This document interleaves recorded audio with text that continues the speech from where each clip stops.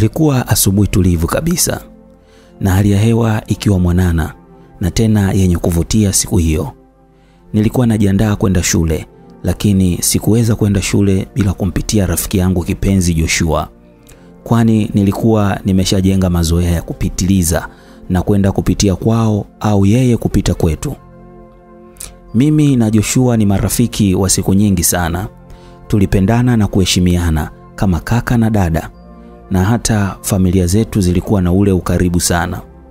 Kwenye familia yetu tumezaliwa wawili, mimi pamoja na kaka yangu tu. Mimi nilikuwa mtoto wa mwisho katika familia ya mzee Bernard. Kaka yangu alikuwa Ulaya kimasomo, yeye alisoma chuo na mimi nilikuwa A level, kwani yeye alipata nafasi ya kwenda nje kusoma. Hivyo alituacha kwa takriban miaka mingi sana. Kwa upande wa rafiki yangu Joshua, yeye alizaliwa peke yake tu, huku akilelewa malezi mazuri na wazazi wake, na pindi awapo shule huwa na tabia ambayo wengi wao walishindwa kumzoea. Hivyo tulikuwa tunaelewana sana mimi na yeye tu. Tulishirikiana kimasomo, kwani tulisoma darasa moja.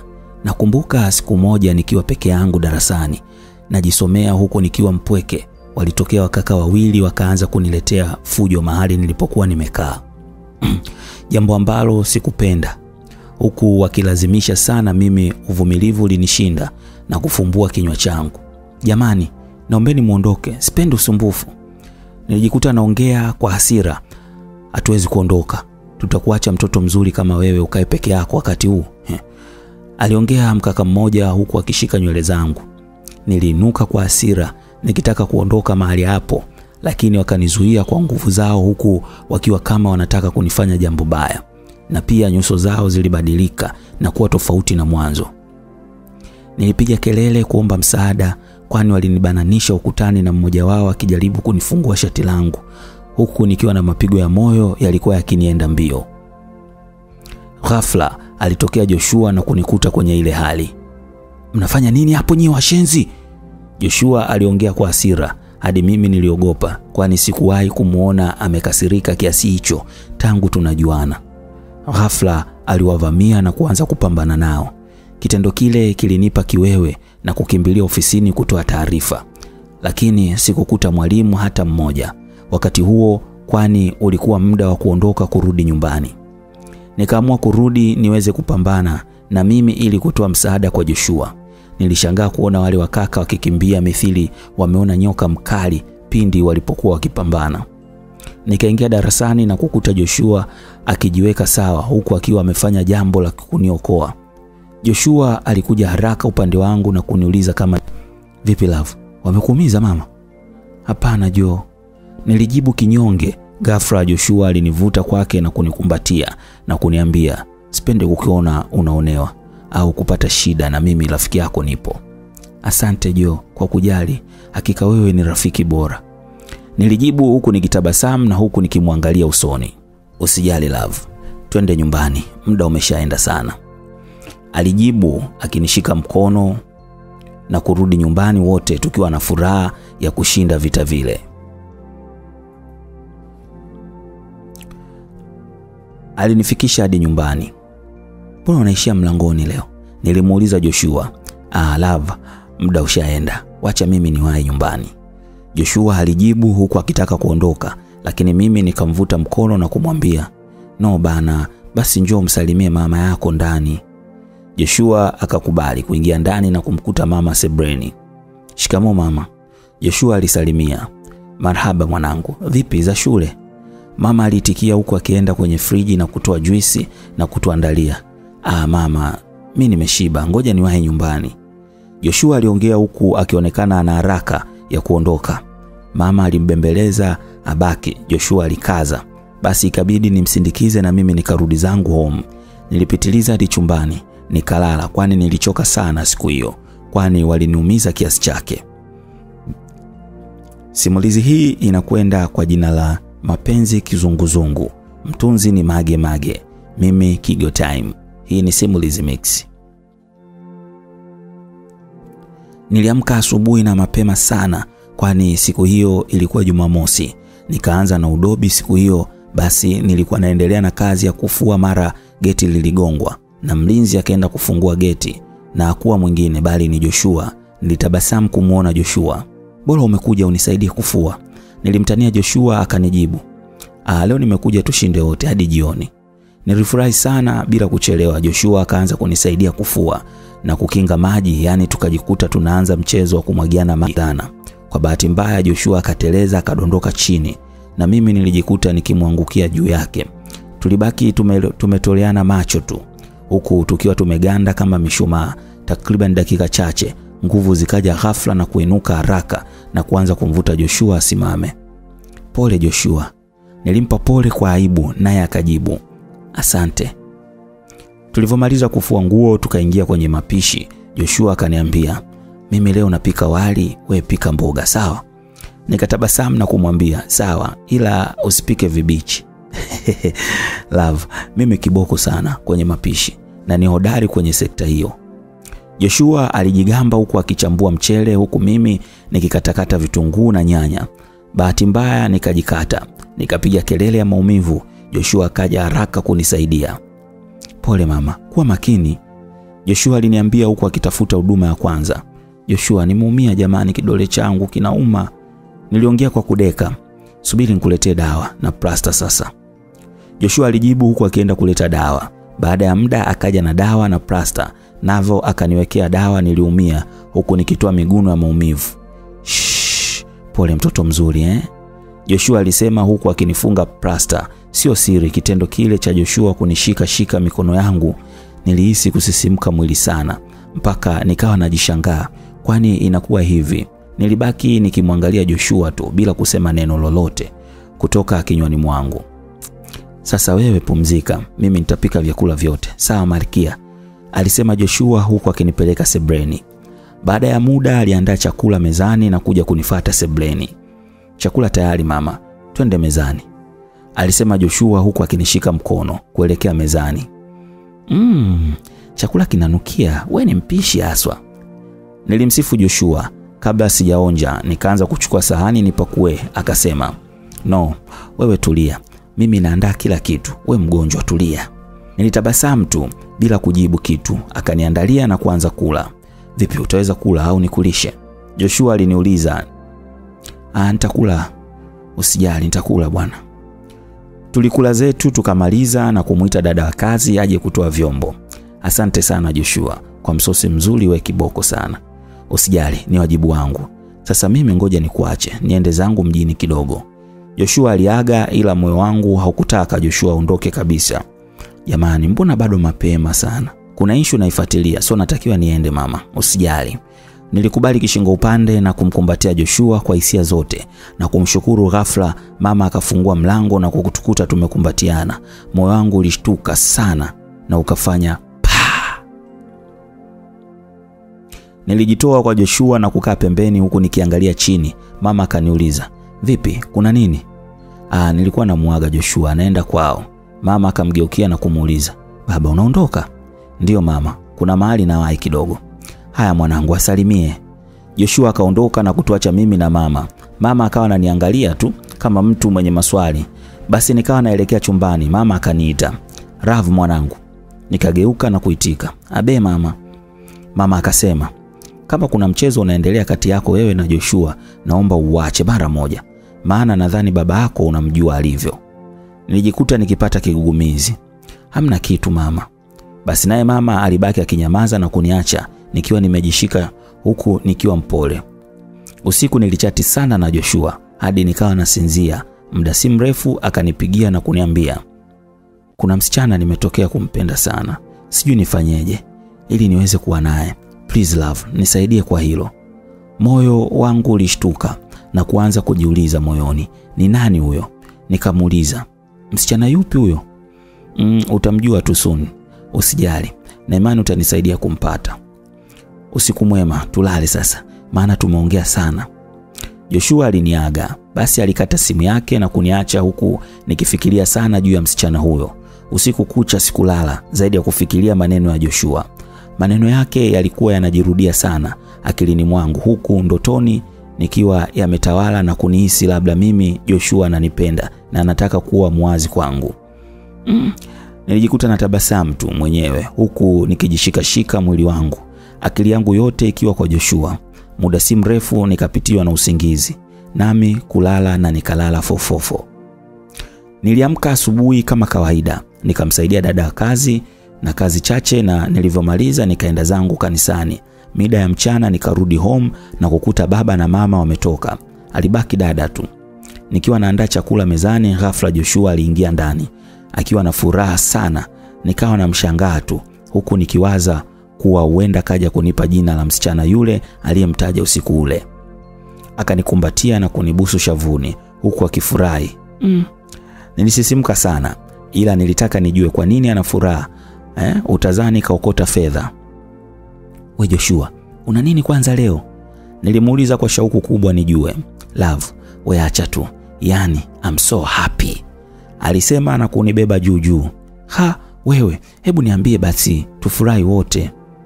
Hmm, guess what? Joshua aliniuliza. What Joe? Tell me. Finally ombi langu limekubaliwa. Alinijibu lakini sikuelewa anamaanisha nini. Ombi gani tena? Kwani uliomba kazi sehemu? Hapana, kuhusu jana nilivyokwambia. Jana nimeongea naye, amekubali. So nimekubaliwa. Ombi langu ni yule rafiki yako Glorious. Nilikuwa natamani sana awe mpenzi wangu tangu zamani, nikawa nashindwa jinsi ya kumwanza. Sasa jana nikampa mistari, amekubali kwa roho moja. Yani moyo wangu ulilipuka kwa mshtuko kidogo ambao sikuelewa umetokea wapi, huku masikioni mwangu sauti na maneno yalijirudia huku na kule, basi kupelekea nizimie. Ghafla nilijikuta nimenywea, tabasamu hakuna na machozi yakaanza kunilengalenga. Nikajikuta nakaa chini mwenyewe bila hata kuambiwa na mtu yeyote yule. Vipi love, una tatizo kwani? Mbona umebadilika ghafla?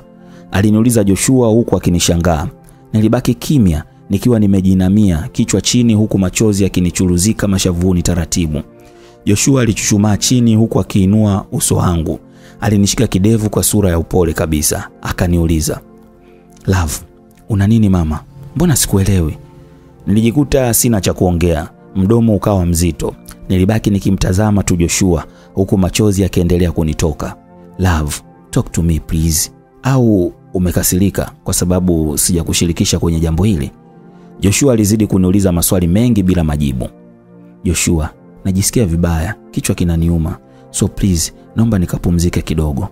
Nilijikuta namjibu Joshua huku nikisimama na kuelekea chumbani, huku nikimwacha Joshua njia panda, asijue nini cha kufanya. Nilijitupa kitandani na kuanza kulia kwa uchungu sana. Utadhani labda nilipata msiba. Sikutegemea kama Joshua angeongea maneno yale. Ina maana Joshua hakuwahi kuwa na hisia na mimi, hakuwahi kunipenda hata kuniwaza. Nilijikuta najisemea mwenyewe tu.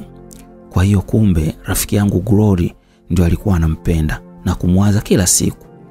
Kwani mimi nina kasoro gani? Labda maana mimi ni mrembo kuliko Glory? Mbona nasumbuliwa na wakaka wengi? Kwa nini Joshua asinipende mimi? Niligeuzageuza kitandani huku bado nikiwa nafikiria, mara SMS ikaingia. Ali Joshua Rav, no, sawa mama, nitakuja kukuona baadaye, upumzike. Sikujibu chochote, nikaweka simu pembeni na kuchapa usingizi. Nilikuja saa mbili usiku, mlango ulikuwa unagongwa. Hodi dada, macho yakiwa yamevimba kwa kulia. Nakuja, subiri. Nikafungua mlango na kukuta dada wa kazi amesimama mlangoni. Vipi dada, leo unaumwa nini? Maana siku nzima umeshinda ndani, aliniuliza dada cha usiku. Nahisi uchovu tu mama, na mzee wako sebreni wanakuulizia. Nikaenda hadi sebreni. Nilishtuka kwani sikutegemea kumwona Joshua muda ule nyumbani. Shikamo baba na mama, nilisalimia na kukaa. Wakaitika huku mama akianza, vipi wewe, macho yamekuvimba, una nini mwanangu? Amna mre. Dawa umemeza? Baba aliuliza. Nimeza dadi. Joshua alivunja ukimya na kuniuliza, "Endeleaje sasa hivi love? Naendelea vizuri. Aga na kuondoka zake, na sisi tukaingia chumba kulala, ila kwa upande wangu sikupata usingizi kabisa. Niliwaza sana hadi nikaona, ndipo usingizi ukanipitia. Asubuhi na mapema nilijiandaa shule kama kawaida yangu. Ni siku hiyo sikumpitia Joshua kama anavyofanyaga siku zote, kwani alinipeleka na gari yake hadi shuleni. Nilifika class, Gloria alinipokea kwa furaha na kunikumbatia kwa furaha huku akiniambia love, furaha ya ajabu yani my dear. Nilimuuliza furaha gani, japo nilijua anachotaka kuniambia. Mi na Joshua ni wapenzi, alisema huku akitarajia furaha toka kwangu, lakini mimi sikuonyesha kufurahia wala kuchangamka. Nilimwambia tu hongera na kwenda kuketi. Glory alishtuka na kushangaa hali ya mimi kuwa mnyonge, aliamua kunifata. Vipi love, kuna tatizo? Una nini? Kwa nini? Mbona unaona uko tofauti kabisa? Glory muuliza kwa mshangao. Hamna, niko sawa tu, nilimjibu na kuendelea na kazi nyingine za class. Basi Glory alirudi kinyonge kwenye siti yake. Muda si mrefu aliingia Joshua kwa Glory na kwenda kumsalimia na kuongea kidogo, japo sikujua walikuwa wanaongea nini. Maliza akaja kwangu na kunisalimia, mambo Ravu. Nikamjibu poa, mbona leo hukunipitia my dear, na unaendeleaje kwanza? Maana nilikutext ukunijibu. Alinijibu Joshua huku akitaka kujua sababu. Kwa baba, nilijibu huku nikiendelea kwa Joshua. Alishangaa kuniona katika hali ile, lakini akaamua kwenda kwenye siti yake. Muda wa mapumziko na kwenda kupata kifungua kinywa, siku hiyo nikaenda mgawani mwenyewe bila kuongozana na Joshua kama kawaida yetu. Nilivyomaliza nikaondoka zangu, lakini kabla sijafika mbali, Joshua alinivuta mkono na kuniuliza, Love, leo nimekuita, nahitaji kuongea na wewe kama rafiki yangu wa muda mrefu sana. Na kusikiliza Glory, nilimjibu. Unajua Love, kipindi kama cha mwezi umebadilika sana, sio Love niliyemzoea kama zamani. Kama rafiki yako naona kabisa uko sawa. Tafadhali niambie una nini, nikusaidie hata kimawazo. Nilishusha pumzi ndefu na kumjibu Glory, niko sawa tu, sina tatizo. Hapana Love, na kujua ukiwa na tatizo pia na kujua ukiwa sawa, so usinidanganye. Glory aliendelea kunilazimisha nimweleze nini tatizo. Ilifika kipindi nikawa nimechoshwa na maswali yake, nikanyanyuka na kutaka kuondoka, lakini Glory alinizuia. Kitendo kile kiliniuzi sana. Glory, nishakwambia sina tatizo, kwa nini unanilazimisha nikwambie matatizo ambayo sina bwana eh? No love, wewe ni besti yangu na kufahamu. Nilijikuta naropoka kwa asila. Yes, nina tatizo. Tatizo langu ni Joshua. I love him so much, kwa muda mrefu sana, nampenda. Haya, sema, are you happy now? Umejua ukweli? Niliongea kwa kupanic hadi machozi yalikuwa yananitoka. Glory alikaa chini ghafla, huku akiwa haamini alichosikia, na mimi nikajikuta nakaa chini huku nikimshika begani kumwambia, huku bado machozi yakiendelea kunitoka. Glory, usijali, kwani Joshua amekuchagua wewe na anakupenda sana. Naomba mpende, mpe furaha and please usimuumize hata siku moja. Nawatakia maisha mema. Niliongea kwa uchungu huku wote tukiwa tunalia. Taratibu niliinuka na kutaka kuondoka, lakini Gloria alinizuia na kuja kunikumbatia kwa uchungu, huku sote tukilia kwa uchungu sana. Tulikumbatiana kama dakika mbili, huku kila mtu akilowesha shati la mwenzie kwa machozi. Ndipo Glory alipovunja ukimya na kuniambia, I'm so sorry love, kwa yote nisamee kwa kukuumiza moyo wako. Mi sikujua kama unampenda Joshua, nipo radhi niachane naye eh, na nimwache Joshua uwe naye wewe, kwani ndio furaha yako. No Glory, usifanye hivyo. Joshua anakupenda sana, ukijaribu kumwacha ataumia sana. Please take care of him, okay? Joshua ananipenda kama rafiki tu, ila wewe anakupenda kweli, nilimjibu Love huku nikiwa nimemshika mikono yake. Please Glory, naomba Joshua asijue ukweli huu tafadhali. Baada ya maongezi, tulirudi klasi kujisomea, kujiandaa na mitihani, kwani siku zilibaki chache. Jioni nilirudi home, nikawasha simu na kukuta ujumbe kutoka kwa Joshua. Nilishtuka, nikawaza labda Glory kashamwambia ukweli, kwani si kawaida yake kuniteksti tangu nilivyomchunia. Aliandika hivi: Love my friend, nimekumisi sana, sijui nilikukosea nini hadi ukakaa kimya na ukakata urafiki na mimi. Nimemiss Love, yule tuliyekuwa tunapika wote, tunasoma wote, tunataniana, tunafua wote na mengine mengi. Sijui Lavu yule wa zamani atarudi lini. Nimemmisi sana. Nilimalizia ujumbe ule huku machozi tayari alikuwa yamelowesha mashavu yangu yote. Kiukweli ule ujumbe uliniumiza sana, lakini sikujibu chochote. Kesho asubuhi na mapema tulikutana na tulikuwa na mitihani. Wa kwanza tulifanya vizuri na kumaliza salama. Nilijisogeza chini ya mti na kuendelea kupitia somo la pili. Kugeuza shingo nikamwona Joshua anakuja upande wangu. Nilishtuka. Vipi Lavu, mtihani ukoje? Mgumu au mwepesi? Aliniuliza kwa bashasha. Ah, wastani tu, Nilimjibu huku nikiendelea kusoma. Basi naomba tusome wote if you don't mind. Nikamjibu sawa, karibu. Tulisoma wote hadi mtihani wa pili ulipowadia, tukafanya na kumaliza vizuri tu. Ikafika mida ya kurudi nyumbani, nikawa naondoka zangu mdogo mdogo. Glory alinikimbilia na kutaka twende wote home. Basi tukafika home, ile naingia ndani, sikuamini macho yangu. Brother Kim, niliita jina la kaka huku nikienda mbio kumkumbatia kwa furaha. Jamani kaka, umerudi saa ngapi? Mbona hujaniambia? Mdogo wangu, nilitaka iwe surprise. Kaka alinijibu huku akitabasamu. Ase, nilifurahi sana kwani sijaonana na kaka kwa muda mrefu sana. Glory, kutana na bro wangu, alikuwa nje kimasomo. Nilimtambulisha Glory kwa kaka, walishikana mikono. Nafurahi kukufahamu, karibu Tanzania, Glory alimwambia kaka Kim. Asante sana, naitwa Kim. Naitwa Glory. Basi baada ya salamu aliaga na kuondoka zake. Tukaingia mezani kula huku tukipiga stori na bro, tuliongea naye mengi sana siku hiyo hadi nikasahau kama nina mitihani. Mama akaniambia nenda kasome, kaka yupo tu, utaongea naye hadi basi. Ndipo niliingia chumbani na kujisomea. Tulimaliza mitiani salama na kuandaa graduation. Kaka aliniandalia keki kubwa sana, tulisherekea kwa pamoja. Familia ya kina Glory na kina Joshua ilijiunga nasi, tukala na kunywa pamoja. Mzee aliwaalika kina Glory na Joshua nyumbani, kwani baba aliandaa tafrija ya kunipongeza. Jioni ilifika, nilijiandaa. Kiukweli nilipendeza sana siku hiyo. Wageni walifika na sherehe ilianza. Watu walikula, walikunywa na kupata burudani.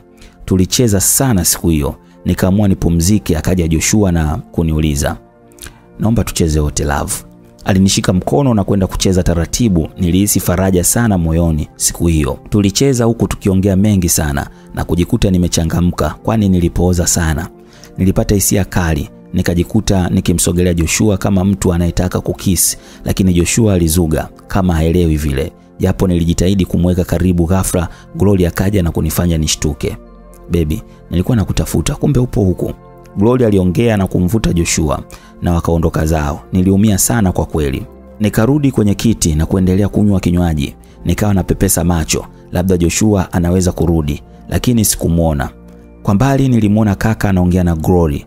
Nikaamua kuachana nao, kwani sikuwafuatilia, maana nilivyogeuka tena sikuwaona pale waliposimama. Nikawa najiuliza watakuwa wapi. Joshua akaja na kuniuliza kama nimemwona Glory. Nikamjibu hapana, sijamwona. Nikaamua nianze kuwatafuta watakuwa wapi.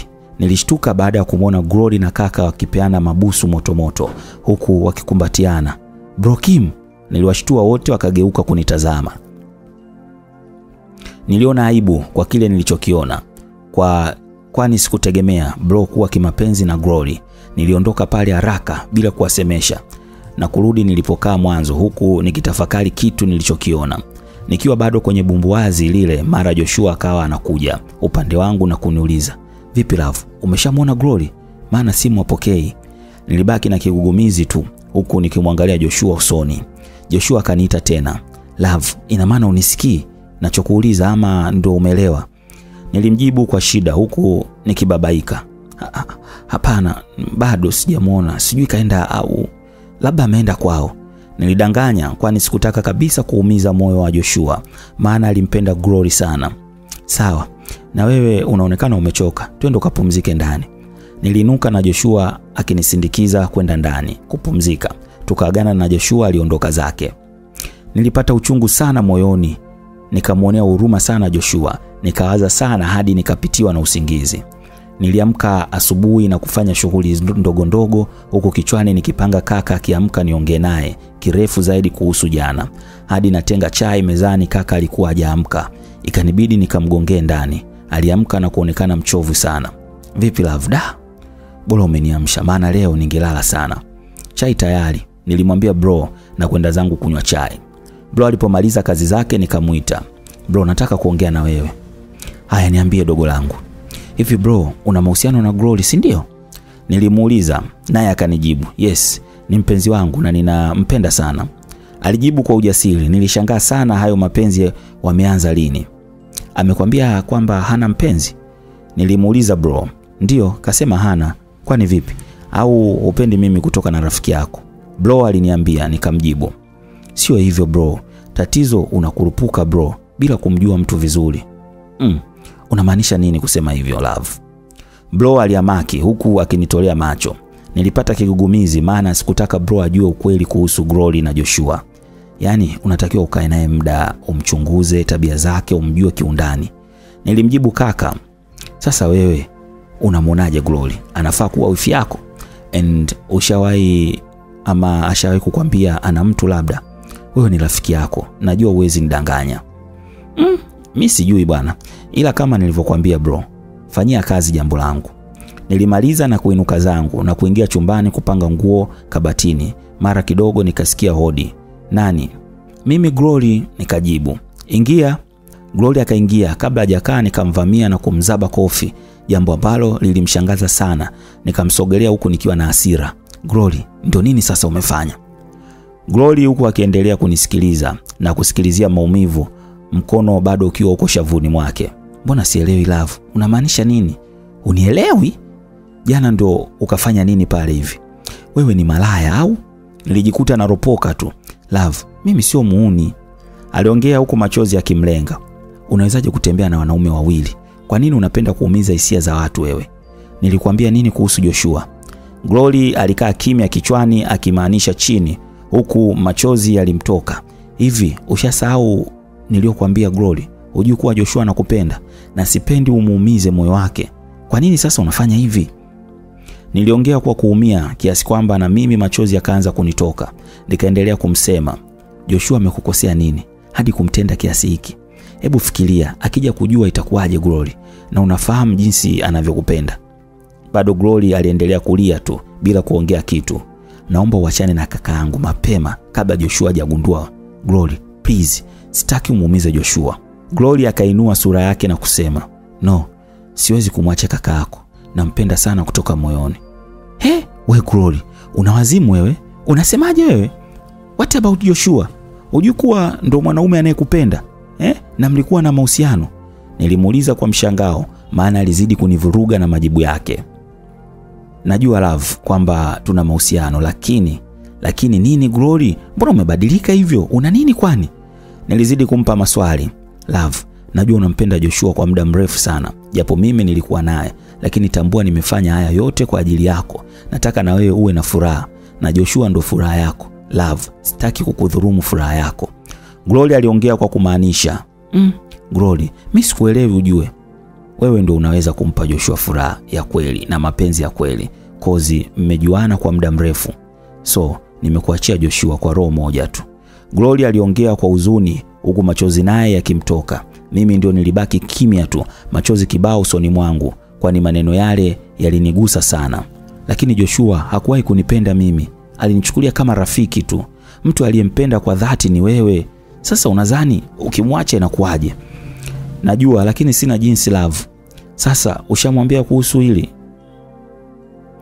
Nilimuuliza akanijibu, hapana, nashindwa jinsi ya kumwambia. Basi tulimaliza maongezi ambayo hayana mwafaka. Mi nikabaki chumbani na Glory akaenda kwa kaka kuongea naye, maana mapenzi yalinoga sana. Baada ya muda nikajiunga nao sebleni, huko Glory akipakatwa na kaka na kupiga mabusu mengi mengi. Kwa aibu nikatoka na kwenda kuandaa chakula mezani. Mara ghafla akaingia Joshua na kukuta kaka Kim na Glory wakiwa kwenye malavlav. Moyo ulifanya pa kwa kuogopa, kwani sikutegemea Joshua kama angekuja muda ule. Joshua macho alimtoka huko akivima kwa hasira. Ghafla alimvamia bro Kim na kumkaba. Unafanya nini na mpenzi wangu? Joshua aliongea kwa jazba hadi nikatoka mbio kwenda kumtoa Joshua. Please stop Joshua, acha bwana. Wewe Glory, naomba umwambie huyo mimi ni nani yako, maana naona anashobokea wanawake za watu. Joshua alipaniki na kutaka Glory aseme kila kitu kwa kaka, maana kaka alibaki njia panda. Cha ajabu Glory hakujibu kitu, alikaa kimya. Ndipo kaka akamwambia Glory, naomba uniambie what's happening hapa. Kaka naye alitaka kujua kinachoendelea. Mm. Hali ilikuwa tete mle ndani, maana sikutegemea kama mambo yangefikia huku.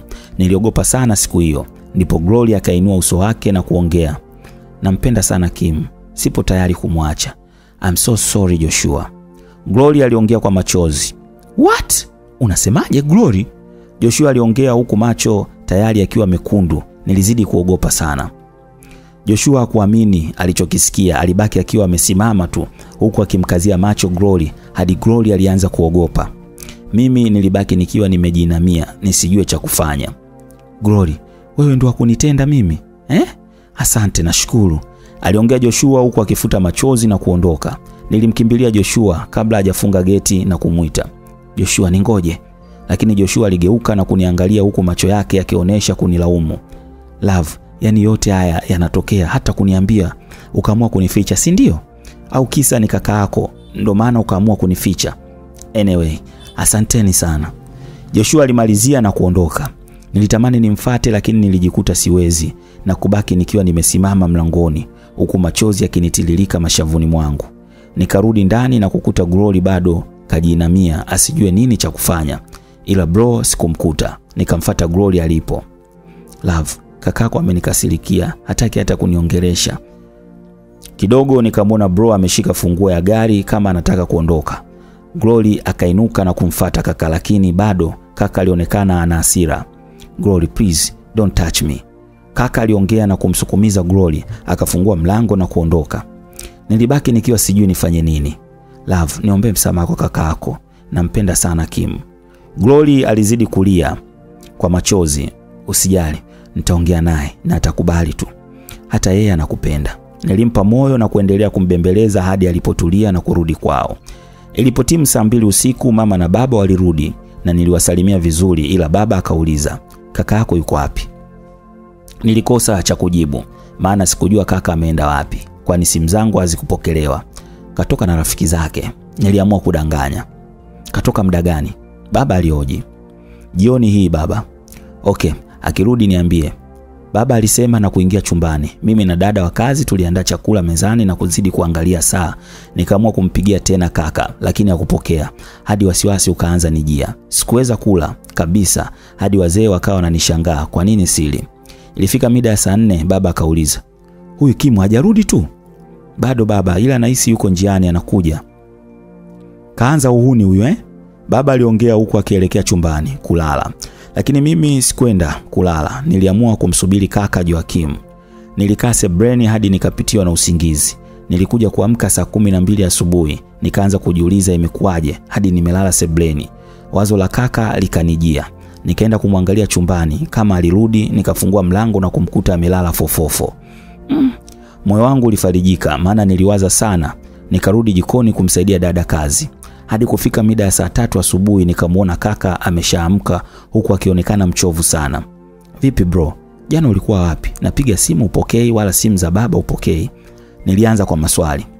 Ah, nilienda kulewa jana kupunguza stresi, alijibu na kukaa mezani akingoja chai na mimi nikakaa. Lakini kaka, ujue Glory anakupenda sana. Nilianza kumpigia debe Glory. We, sitaki kusikia hilo jina masikioni mwangu. Kaka alionyesha bado anakereka. Sasa bro, kwani Glory amekosa nini sasa wakati amekuchagua wewe? Nilimuuliza, kwani Love we uoni kosa hapo? Yaani kumbe alikuwa na mpenzi wake, mimi alikuwa ananichola tu. We ujui mapenzi yanauma kiasi gani? Ndo maana unasema tu. Bro alionekana aliumia sana kile kitendo kilichotokea jana. Kabla sijamjibu, iliingia SMS kutoka kwa Joshua ilosomeka hivi: Love, naomba uje nyumbani please sasa hivi. Hmm, niliguna. Nilimjibu sawa, nakuja sasa hivi. Nilivyomjibu Joshua, nikamtizama kaka na kumwambia, kaka, kuwa na moyo wa huruma, mtoto wa watu anakupenda, samehe yaishe, mwanze upya, kwani hakuna mkamilifu. Glory amekuchagua wewe badala ya Joshua. We uoni amejitoa kiasi gani kwa ajili yako? Nilijitahidi kumpa, mo, kumpa moyo kaka na kumpa somo. Mm, sio rahisi kama ufikiriavyo, alijibu bro huku akiendelea kunywa chai. Ghafla mlango ukagongwa na kuingia. Alikuwa Glory. Bro kumwona tu Glory akasimama na kuelekea chumbani, lakini Glory akamkimbilia na kumzuia. No Kim, usinitese kiasi hiki. Kama ni adhabu unayonipa basi naomba unipunguzie. Siwezi bila wewe, nakupenda Kim, please nisamehe. Glory alizidi kuomba msamaha, lakini bro hakujibu chochote zaidi ya kuangalia pembeni. Kim, wewe ndo kila kitu kwangu, wewe ndo mwanaume nikupendaye kwa dhati, naomba unihurumie, naumia kwa ajili yako. Gloria alipiga magoti hadi mimi nikaanza kumwonea huruma. Kaka alimuinua na kumkumbatia. Okay, nimekusamehe na kupenda pia Glory. Hatimaye wakapatana tena. Nilifurahi sana kuona furaha imerudi upya. Nikawaambia, I'm happy for you guys. Nilimaliza na kwenda kujiandaa niende kwa kina Joshua aliponiita. Sikuwa najua ananiitia nini, lakini nilienda tu na kumsikiliza. Nilifika hadi ndani na kukuta nyumba ipo kimya sana. Niligonga mlango, akaja msichana wa kazi kufungua. Tulisalimiana na kumuuliza Joshua na kuniambia yuko chumbani kwake. Nilifika hadi ndani na kukuta nyumba ipo kimya sana. Niligonga mlango, akaja msichana wa kazi kufungua. Tulisalimiana na kumuulizia Joshua na kuniambia yuko chumbani kwake. Nilikuta amejifunika Joshua. Vipi Joshua, unaumwa? Nilimuuliza, maana si kawaida yake. Ndiyo, nahisi homa, kichwa kinaniuma sana. Alijibu kwa sauti ya chini sana, lakini chumba kilijaa pombe kali, chupa nyingi zinaonekana zishatumika. Mm, nilishtuka. Joshua, umekunywa mapombe? Nilimuuliza na kuketi kitandani kwake. Ndiyo love, nimekunywa. Alijibu huku akianza kulia. Hapana, usiwe hivyo, kwani pombe haitamaliza matatizo yako Joshua. Nilimwambia huku nikimwonea huruma. Nikainuka na kwenda kuchukua kitambaa na maji ili nimkande kichwa, homa ishuke. Sikuweza kumpa dawa kwani bado pombe ilikuwa kichwani. Love, kwani mimi nimemkosea nini Glory? Joshua aliniuliza huku nikiendelea kumkanda. Hapana, hujamkosea kitu, ila inabidi ukubaliane na matokeo. Wasichana wako wengi, utapata mwingine. Nilimjibu baada ya kumkanda, nikamwacha apumzike kidogo. Nikainuka na kutaka kutoka, lakini Joshua akanishika mkono na kuniambia, Love, please don't leave me, naomba ukae na mimi. Mm, hapa sasa ikawa mtihani, kwani nilihisi napata majaribu. Sawa, nipo, siondoki. Nilimjibu na kurudi kitandani, nikawa nasubiri alale na mimi niweze kurudi nyumbani, kwani muda ulishaenda. Nikambembeleza hadi akapitiwa na usingizi, nikamkisi shavuni na kuondoka zangu nyumbani. Nilirudi nyumbani na kukuta Glory bado yupo na kaka. Nikapitiliza hadi chumbani na kujilaza huku bado nikimwaza Joshua jinsi alivyonishika mkono na kuniambia nibaki naye. Mm, nilizidi kupagawa na kutamani hata nibusu mdomoni, roho yangu itulie. Niliwaza sana, ndio nikapitiwa na usingizi. Nilikuja kushtuka, simu yangu inaita, nikatazama alikuwa Joshua. Niliguna kwanza na kuanza kufikiria nataka nini saizi huyu.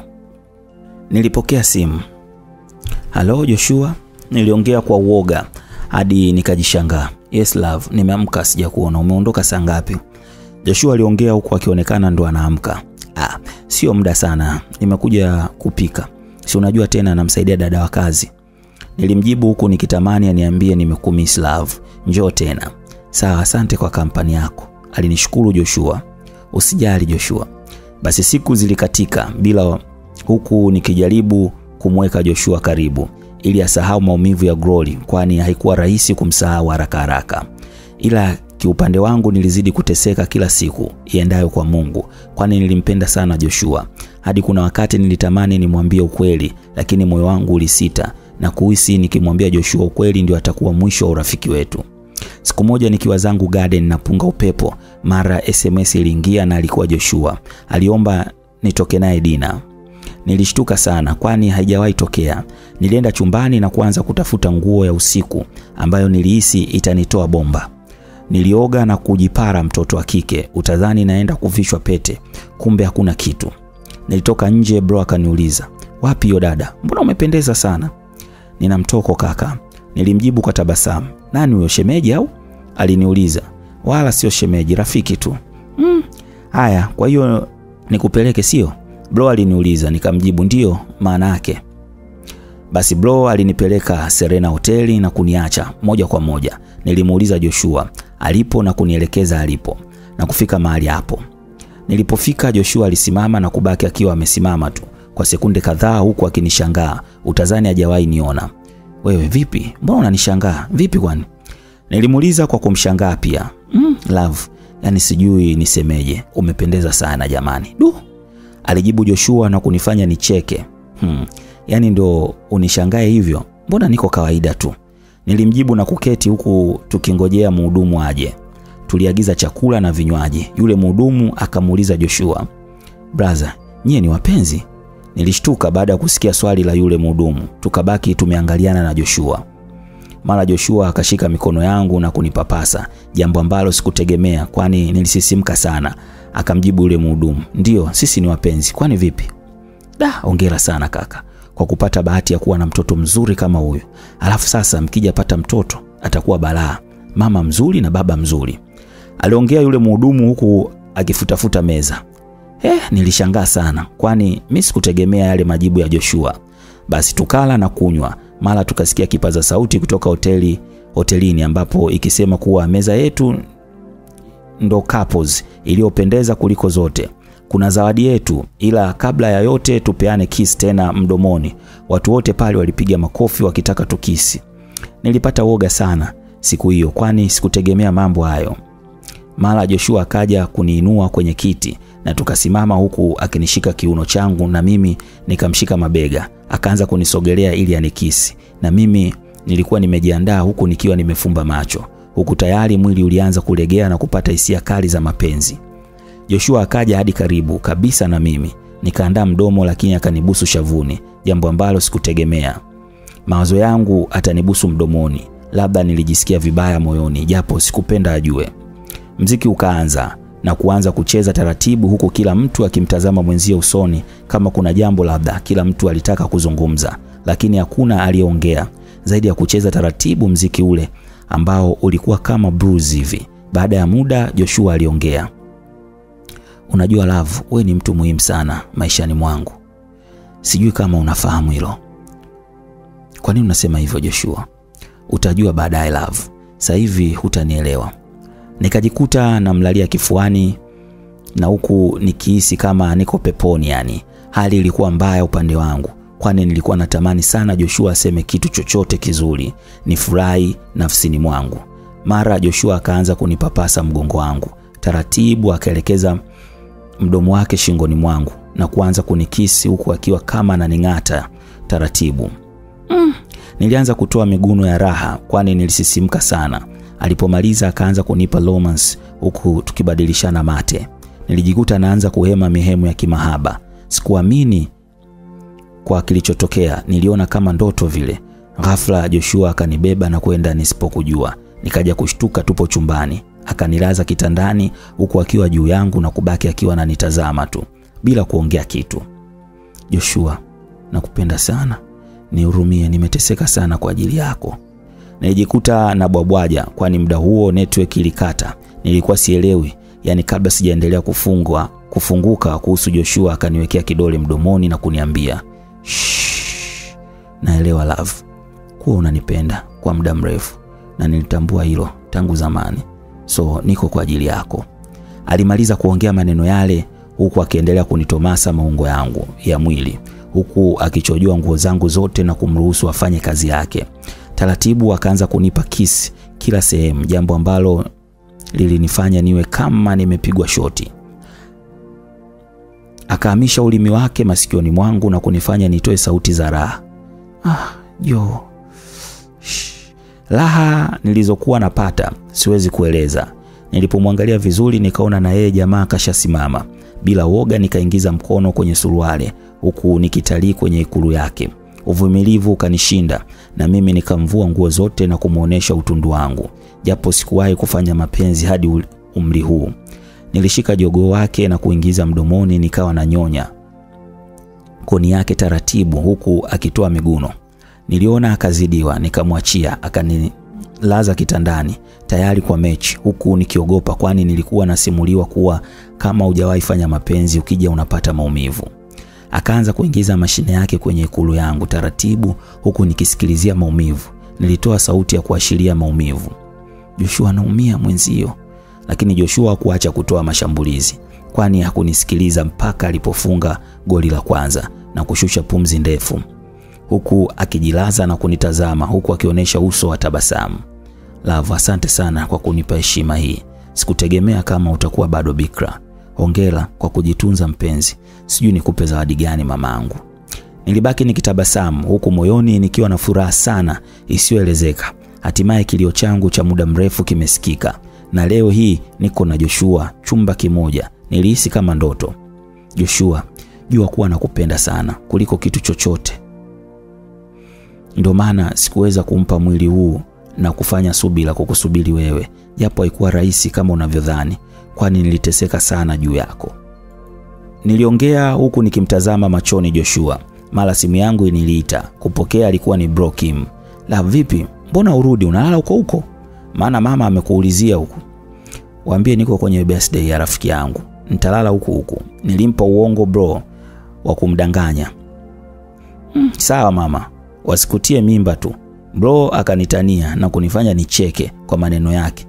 Love, nataka leo iwe siku ya historia kwetu. Joshua alinibeba na kuniingiza bafuni na kuanza kuoga wote huku tukicheza cheza na macho huku Joshua akinipapasa mwili wangu. Mapenzi yakanoga bafoni, tukajikuta tukienda raundi ya pili bafuni, huku kila mtu akionekana kufurahia mchezo ule. Nikamuuliza Joshua, Joshua, do you love me too? Nikiwa na maana kwamba Joshua unanipenda pia. Joshua hakujibu kitu, alitabasamu na kuanza kuniogesha. Baada ya kumaliza mechi ya pili bafuni, tulipomaliza tukaoga na kujitupa kitandani tukalala fofofo, kwani kila mtu alichoka sana. Nilijikuta na nashtuka kumekucha, nikapapasa kitandani, lakini Joshua hakuwepo. Nikashtuka na kuamka, nikaanza kuita na kujaribu kuchungulia nje, lakini palikuwa kimya. Basi nikaingia bafuni kuoga ili nijiandae, lakini bado nikawa nawaza Joshua atakuwa wapi? Mbona hajaniaga kama anatoka? Nikiwa bado kwenye limbi la mawazo, mara Joshua huyo akaja bafuni na kukuta bado naoga. Kichovu akanikumbatia kwa nyuma na kunikisi huku na yeye akivua nguo tuoge wote. Ulienda wapi bebi? Yaani nimepata wasiwasi. Ah, usijali mpenzi. Tulimaliza kuoga na safari ya kurudi home ilifika. Joshua alinipeleka hadi home. Tukashuka wote ndani ya gari na kuagana. Jamani, natamani nikae tu na wewe muda wote. Sitamani kurudi nyumbani kabisa. Niliongea kwa msisitizo hadi Joshua akawa ananishangaa. Jamani, usijali mpenzi, tutawasiliana. Joshua akanikisi shavuni, lakini sikumwachia. Nilimvuta shati na kumsogelea na kumkisi mdomoni, huku tukipeana romance kwa sekunde kadhaa.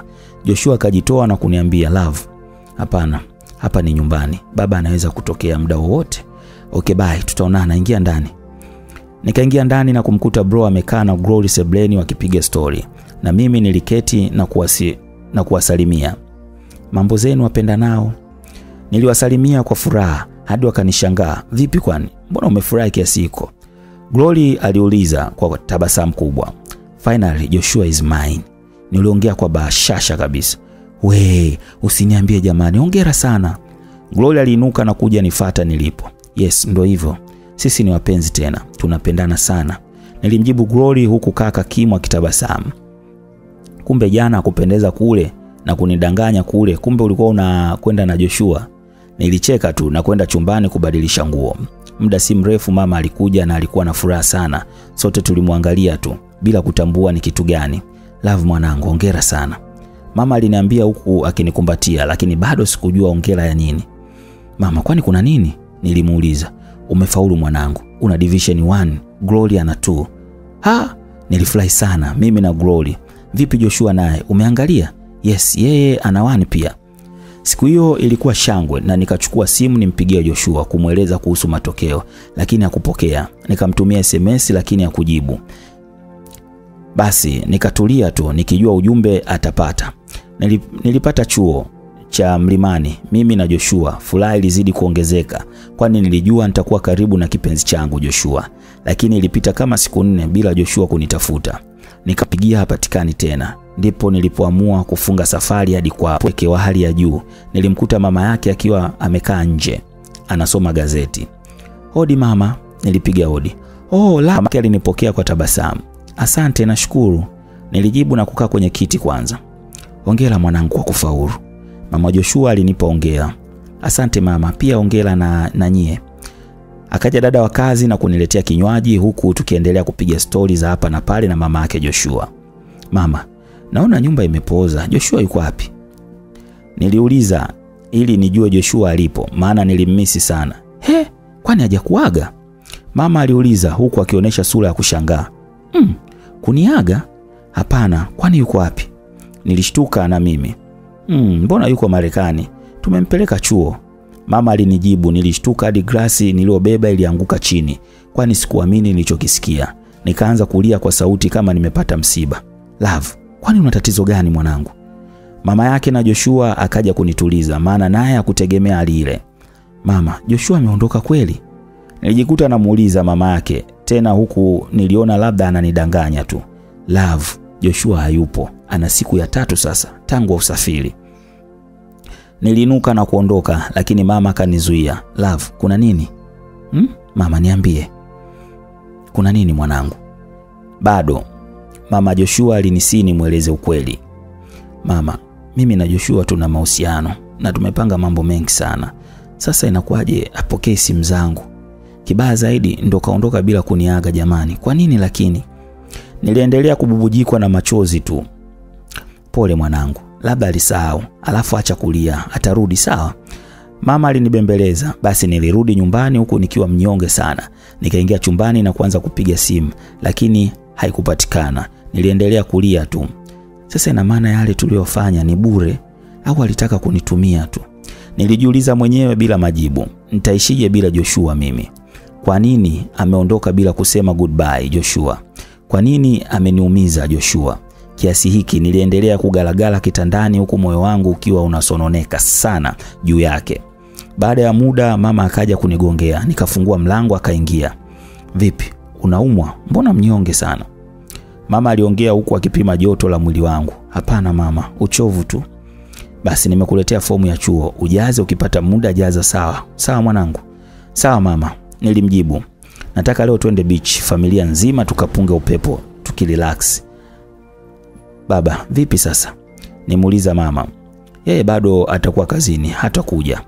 Basi jiandae, mwambie na da cha usiku na kaka yako mjiandae. Mama aliniambia na kutoka chumbani bila kuchelewa, nikaenda kuwaambia wajiandae, ila mimi bado sikuwa na raha kabisa siku hiyo. Wenzangu waliogelea, ila mimi sikuogelea. Nilijikalia zangu tu kwenye mawe, huku nikiwa mwingi wa mawazo. Nikiwa bado kwenye limbwi la mawazo, akatokea mkaka mmoja ambaye sikumfahamu na kuja kuketi pembeni yangu, kisha akawa ananiambia, unaonekana una mawazo sana. Nikageuka na kumtizama kwa sekunde kadhaa, kisha nikamjibu, sina mawazo. Nikamjibu huku nikiwa na cheki baharini jinsi mawimbi yanavyopiga. Hapana, usinidanganye, wakati sura yako inaonyesha hauna furaha kabisa. Yule kaka akanijibu, nikamgeukia tena. Kaka vipi, kwani umetumwa?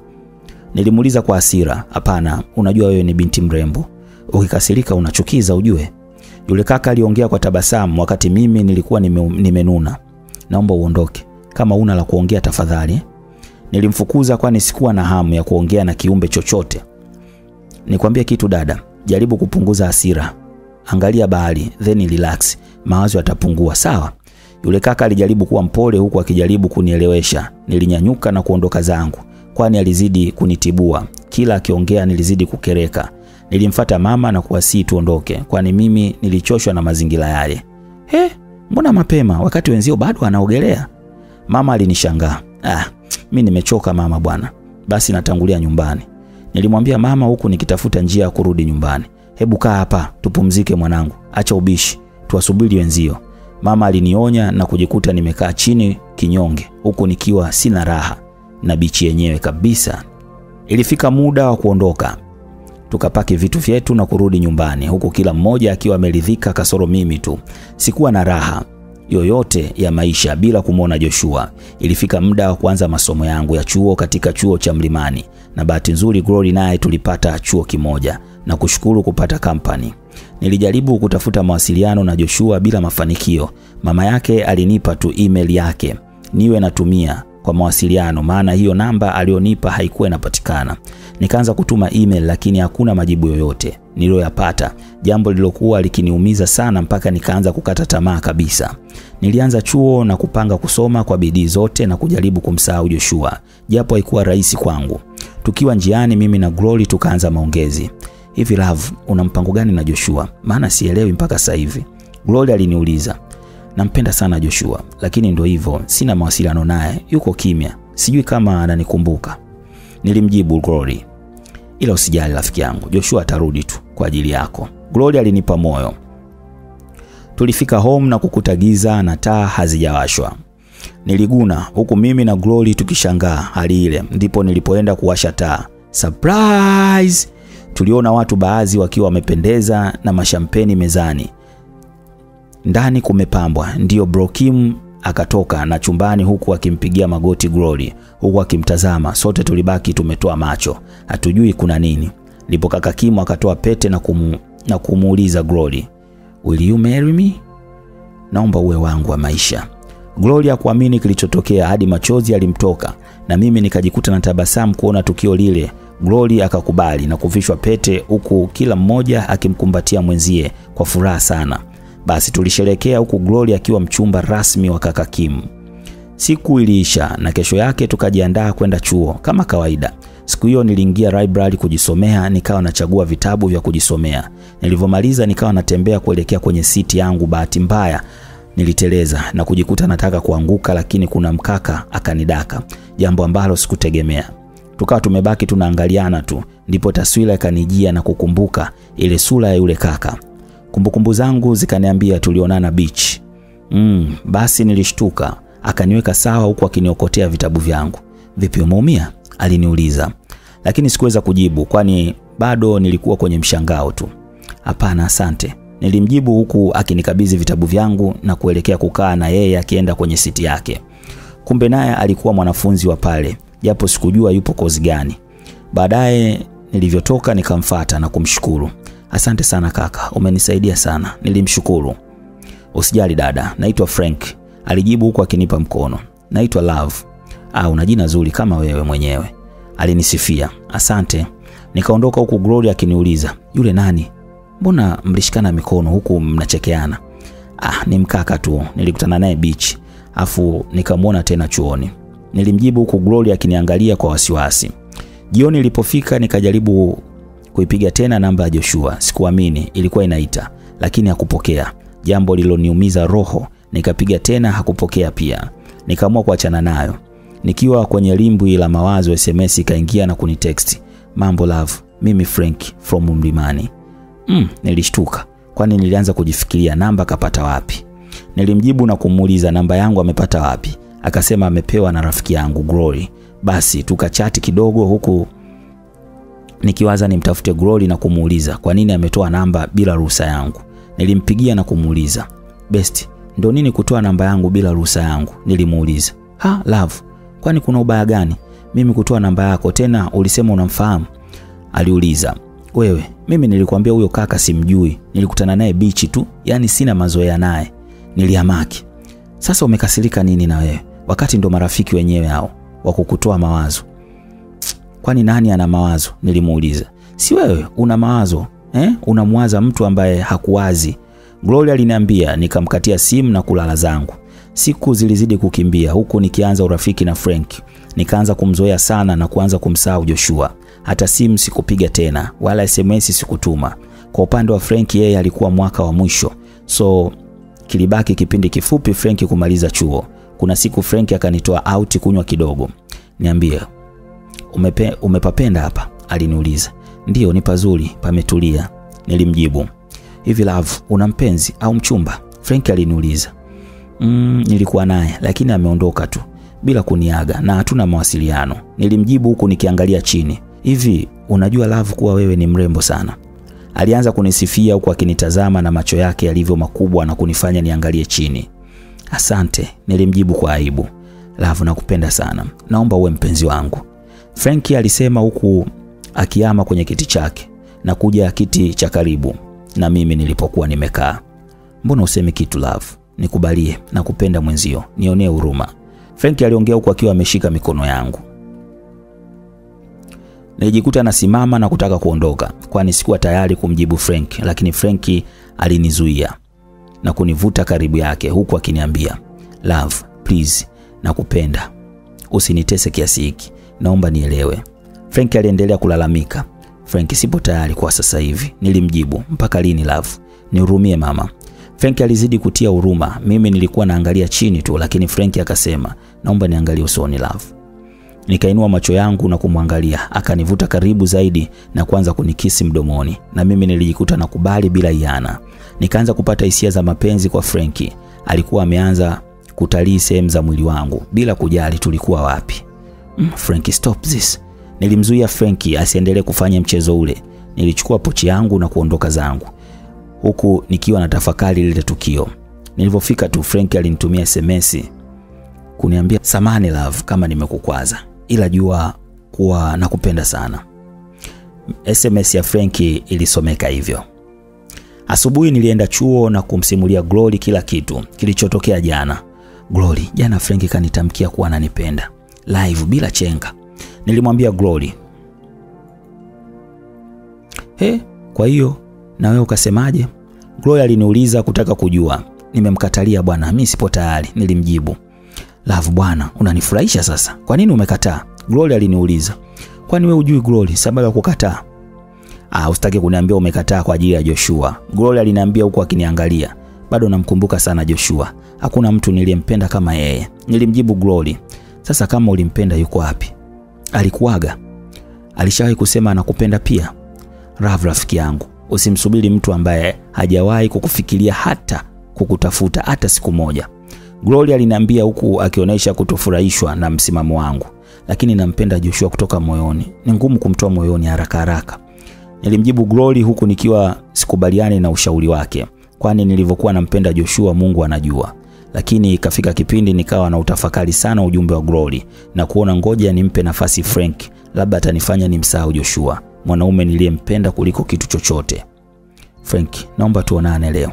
Nilimwambia Frank kwenye simu huku tukipanga mahali pa kuonana. Tulionana na Frank huku kila mtu akiwa na hamu na mwenzake. Love, asante kwa ujio wako, nimefurahi tumekutana tena. Frank aliniambia huku akifungua kinywaji. Mm, Frank, kwa nini tusiende kukaa chumbani? Nahisi tutakuwa huru zaidi. Nilimwambia na kuinuka na kuelekea kwenye vyumba. Tulikunywa mvinyo hadi nikahisi kama nalewa hivi. Muda mwingi nilikuwa na cheka cheka tu huku nikivua nguo na kujitupa kitandani. Frank, njoo baby. Nilimwita Frank aje kitandani huku nikijilegeza. Nakuja mama. Frank alijibu na kuinuka na kuja nilipo huku nikimvuta.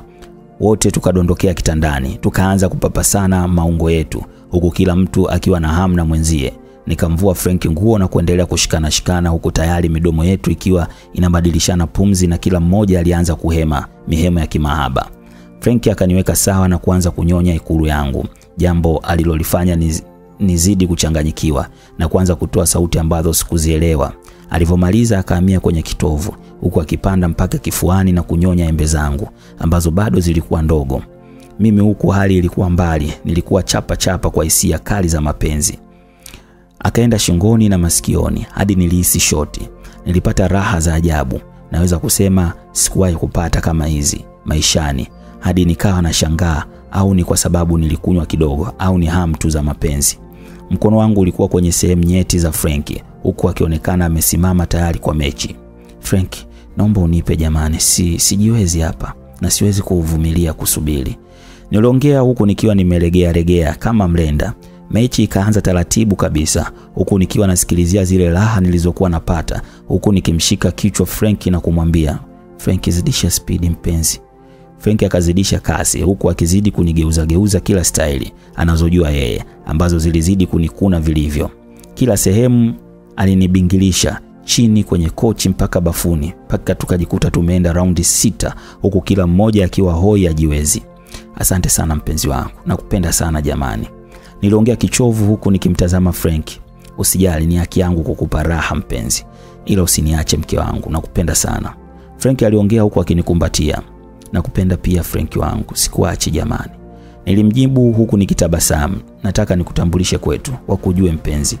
Frank aliongea huku akinipapasa mgongo wangu. Mm, baby, mbona una haraka hivyo? Nilimuuliza. Sina haraka mke wangu, ila napenda nikuoneshe yale mapenzi ya kweli, halafu jua mimi nina malengo na wewe, sio ya kukuchezea. Frank aliongea huku akimaanisha, sawa mpenzi, usijali, tutaenda. Nilimjibu Frenki huku akionyesha kufurahi sana. Tukajifunika shuka na kulala fofofo huku tumekumbatiana. Tulikuja kuamka asubuhi huku mimi mwili wote haufai kwa uchovu, basi tukaingia bafuni kuoga ili safari ya kurudi nyumbani ianze. Bebi, natamani hata usiondoke jamani, tushinde wote tu ndani, Frank aliniambia huku akivaa nguo. Mm, bebi, hata mimi sema ndo hivyo, inatupasa kurudi nyumbani, nilimjibu Frenki tukiendelea kujiandaa na safari ya kurudi nyumbani. Safari ikaanza huku kila mmoja akionekana ni mwingi wa furaha. Nilifika nyumbani na kumkuta mama akiwa sebreni na kumsalimia. Shikamo mama. Marahaba, za huko ulikotoka? Mama aliniitikia lakini akiwa mwenye wasiwasi. Salama tu mama, nilimjibu na kuketi. Ulienda kwa nani hadi ukaamua kulala nje ya nyumba wakati ulisema utarudi? Mama alinioji. Mama bwana, nilikuwa kwenye pati. Sasa nilichelewa kutoka, nikaamua kulala huko huko. Nilijibu. Mbona Glory jana alikuja kukuulizia?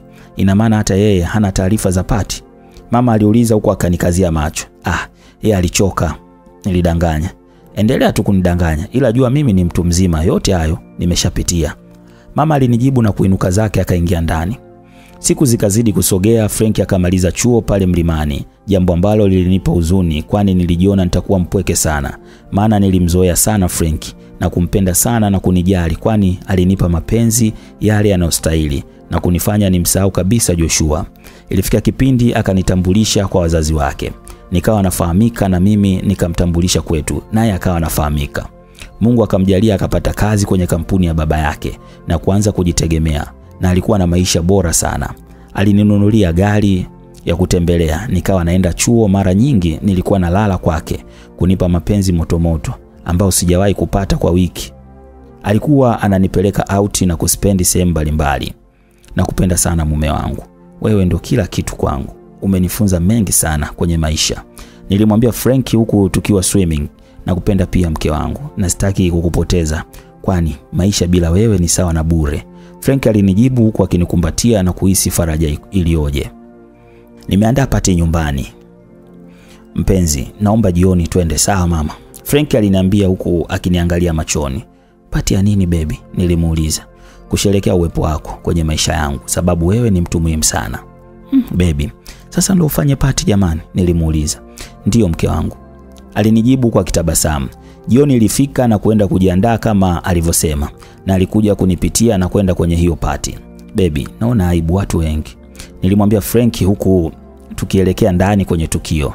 Tulivyoingia wageni wote walisimama na kushangilia. Hali ile ilinifanya nikose ujasiri, kwani mimi sikutegemea kuona watu wengi kiasi kile.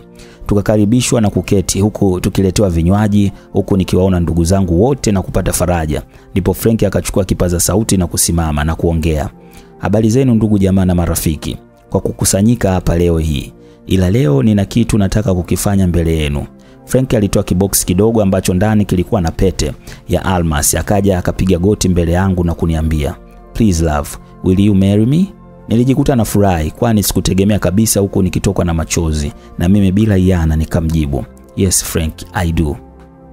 Watu wote walishangilia kwa vigelegele. Baada ya hapo tulikumbatiana, huku kila mtu akionyesha furaha kubwa sana. Nakupenda sana Frank, mume wangu, asante kwa kunipa heshima hii, nilimjibu huku tukiwa tumekumbatiana, huku bado machozi yakiendelea kunitoka. Nakupenda pia mke wangu, wewe ndo kila kitu kwangu, maisha yangu ni bure bila wewe. Frank naye alinijibu huku akinibusu kwenye paji la uso. Tulianza kucheza muziki huku ndugu na jamaa wakija kutupa ongera kwa jambo lililofanyika usiku huu.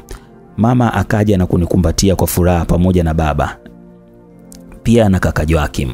Hongera sana mwanangu kwa kutupa heshima kwenye familia yetu.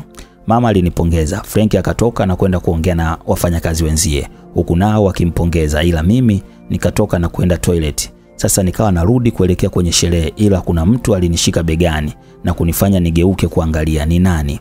Moyo ulishtuka huku nikitoa macho ya mshangao kwani sikumwamini, sikuamini kumwona Joshua akiwa ananiangalia huku macho yakiwa mekundu kama mtu aliyekuwa analia. Sura yake ilionyesha inafahamu kila kinachoendelea kati yangu mimi na Frank. Nikawa bado tunatoleana macho. Joshua akavunja ukimya. Love, ndo umefanya nini mpenzi wangu? Aliniuliza kwa upole kabisa, ila mimi sikuwa na jibu la kumpa muda ule. Naomba nijibu love, mbona umekaa kimya? Joshua, ulitaka mimi nifanye nini sasa? Nilimjibu huku nikiumia moyo wangu, kwani sikutaka kukumbuka ya nyuma. Naomba twende sehemu tukaongee mpenzi, hapo utonielewa. Joshua aliniambia huku akinishika mkono, huku akitaka tuondoke mahali pale. No Joshua, siwezi kuondoka mahali hapa, na unajua fika kuwa kuna nini kinachoendelea. Please, sihitaji kusikia uongo wako wowote, naomba niache. Nilimjibu huku nikitoa mkono wangu kwake na kuondoka zangu. Love, please nisikilize mama, kwa nini umeamua kuniumiza kiasi hiki kama Glory? Joshua aliongea kwa upole. Mimi na wewe, nani alimuumiza mwenzie? Nilimuuliza. Love, nisikilize. Joshua aliniomba nimsikilize. Hapana Joshua, sitaki kuongelea mambo hayo yaliyopita. Nilimjibu huku nikiondoka zangu. Niliondoka huku nikiwa na uchungu moyoni, kwani nilianza kukumbuka mambo ya nyuma aliyonitendea Joshua. Nilijikuta nafuta machozi huku nikielekea kwenye sherehe. Kumbe Frank naye alikuwa ananitafuta. Bebi, ulienda wapi? Frank aliniuliza. Nilikuwa toilet. Vipi kwani? Ni muda wa kupumzika sasa hivi na leo unalala kwangu baby. aliniambia huku tukienda kuaga wageni na kupanda kwenye gari na kurudi nyumbani kwake, ila bado nilikuwa na mawazo sana. Lile tukio la kuonana na Joshua lilijirudia akilini mwangu kila saa hadi Frank akaona sina raha kabisa. Vipi mke wangu, una tatizo? Mbona umekuwa kimya ghafla? Aliniuliza huku akiniangalia. Hapana, nimechoka tu bebi, nilimjibu kinyonge. Safari iliendelea hadi tukafika kwake huku tukielekea kuoga kutoa uchovu. Ngoja nikuogeshe malkia wangu, maana umechoka sana, aliniambia huku akinimwagia maji na kuanza kuniogesha taratibu mpaka alipomaliza, na yeye akaoga akaja kitandani. Ehe, niambie kipenzi changu. Frank alinigeukia huku akianza nipapasa huku nikijua tu anataka mchezo, na mimi bila yana nikampa haki yake. Baada ya mchezo ule ambao ulikuwa wa kivivu, tukalala hadi asubuhi. Siku hiyo niliamka mapema na kwenda home kujiandaa ili niingie chuo. Nilimpitia Glory nimpe lifti, huku njiani nikimwadisia yaliyojili jana. Mm, Glory, unajua jana yalionikuta? Nilianza kumpa mkanda. Hapana, nini tena besti? Maana hatukuagana hata. Glory alikaa vizuri kunisikiliza. Unaweza kuamini jana Joshua alikuja kwenye pati? Nilimuuliza. We, Joshua si yuko Marekani au Joshua yupi tena? Glory aliamaki. Joshua huyu huyu unayemjua wewe. Jana kaja kwenye pati. Wacha nivute, anataka tuondoke. He? Muondoke? Haya, muondoke muende kuongea nini sasa? Yes, alikuacha bila taarifa. Sasa kimemleta nini? Glory naye aliniambia huku akibetua mdomo kuonesha amekerekwa na kitendo cha Joshua kuja. Nimemgomea mimi kuongea, nikasepa zangu, maana alinilazimisha tutoroke tukaongee sehemu. Nikamwambia hujui kuwa leo ni siku yangu muhimu? Niliendelea kumhadisia Glory kila kitu kuhusu jana. Yaani Joshua anachekesha sana. Muda wote alikuwa wapi? Anasikia unavishwa pete ndo anakuja. Makubwa haya wanaume hawa jamani, kichefuchefu. Glory aliendelea kumlaumu Joshua. Usikubali love Joshua kuharibia bahati yako, maana yeye ulimpa chansi kaichezea. Waache watu wanaojua kupenda wakuoneshe mapenzi yalivyo matamu. Ndio maana mimi nilimbwaga, maana angeniumiza moyo wangu tu. Glory aliongea sana huku akionekana kumchukia Joshua kupindukia kwa kitendo alichofanya.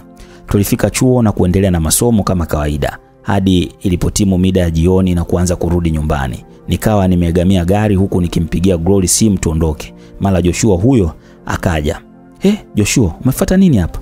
Nilishtuka kwanza, maana sikutegemea kumwona pale. Nimekufuata wewe mpenzi, kwani umebadilika kiasi hiki mamangu? Joshua alizidi kutia huruma. Wewe ndio umebadilika eh, na wewe ndio ulionibadilisha mimi, nilimjibu huku nikimtumia Glory SMS aje tuondoke. Sasa love, kwa nini utaki nikuelekeze yaliyotokea? Wewe unakimbilia kunilaumu tu bila kujua sababu. Joshua aliniambia huku akitaka kunihadisia. Hata ukinihadisia haya haisaidii chochote Joshua, kwani mimi ni mchumba wa mtu tayari, suni nafunga ndoa. So naomba uende tu na usinifatefate, maana utanisababishia matatizo kwa mpenzi wangu, nilimjibu. Kwa hiyo love, ndo haunipendi tena hmm? Huna kabisa hisia na mimi, Joshua alioji, ila sikumjibu. Please niambie kama kweli unipendi. Ukinitamkia hutaona sura yangu tena au kukusumbua tena, Joshua aliniambia huku akitaka majibu kutoka kwangu, ila sikuweza kujibu chochote. Nikajikuta na naangalia pembeni tu. Love, nakupenda sana. Kutafuta maisha ndo kumenifanya niwe mbali na wewe. Sikuweza kukuaga, kwani ingekuwa ngumu kwako kukubali mimi niende. Pia sikuweza kuwasiliana na wewe kutokana na mazingira ya kule chuoni, ila kila siku lazima nikukumbuke mpenzi wangu, na kusoma kwa bidii na kuahidi kurudi kwa ajili yako, tuweze kupanga maisha yetu lakini umekosa subira na kuamua kuvishwa pete na mwanaume mwingine. Umeumiza sana moyo wangu love, lakini bado nakutafuta tu mpenzi wangu, tuyaongee haya, lakini inaonekana na kukela Najua unipendi tena kama zamani love, ila jua nakupenda sana na nitakupenda siku zote za maisha yangu. Na kutakia maisha mema na ndoa njema na Frank. Joshua aliongea kwa machozi, huku na mimi machozi yakinitoka, kwani maneno yake yaliniumiza sana moyoni mwangu. Joshua aliondoka na kuniacha analia kwa uchungu mpaka nilikaa chini. Glory akaja na kunikuta bado nalia tu, huku bado nikiwa chini. Vipi love, unaumwa? Mbona unalia mama? Glory aliniuliza kwa mshangao. Glory, naumia sana. Niliongea kwa quick huku bado nalia. Umefanyaje jamani love? Eh, vipi? Niambie basi. Glory alinisii nimweleze. Glory, Joshua. Nilimjibu tena kwa kwikwi zaidi. Joshua kafanya nini tena jamani? Aliniuliza. Niambie basi love, nijue na kusaidiaje. Glory aliendelea kunisii nimwambie kinachonisibu. Joshua amekuja sasa hivi kuongea na mimi. Nilianza kumwelezea Glory huku nikiacha kulia, lakini bado nilikuwa na huzuni moyoni mwangu. Ehe, anasemaje? Glory aliniuliza kutaka kujua.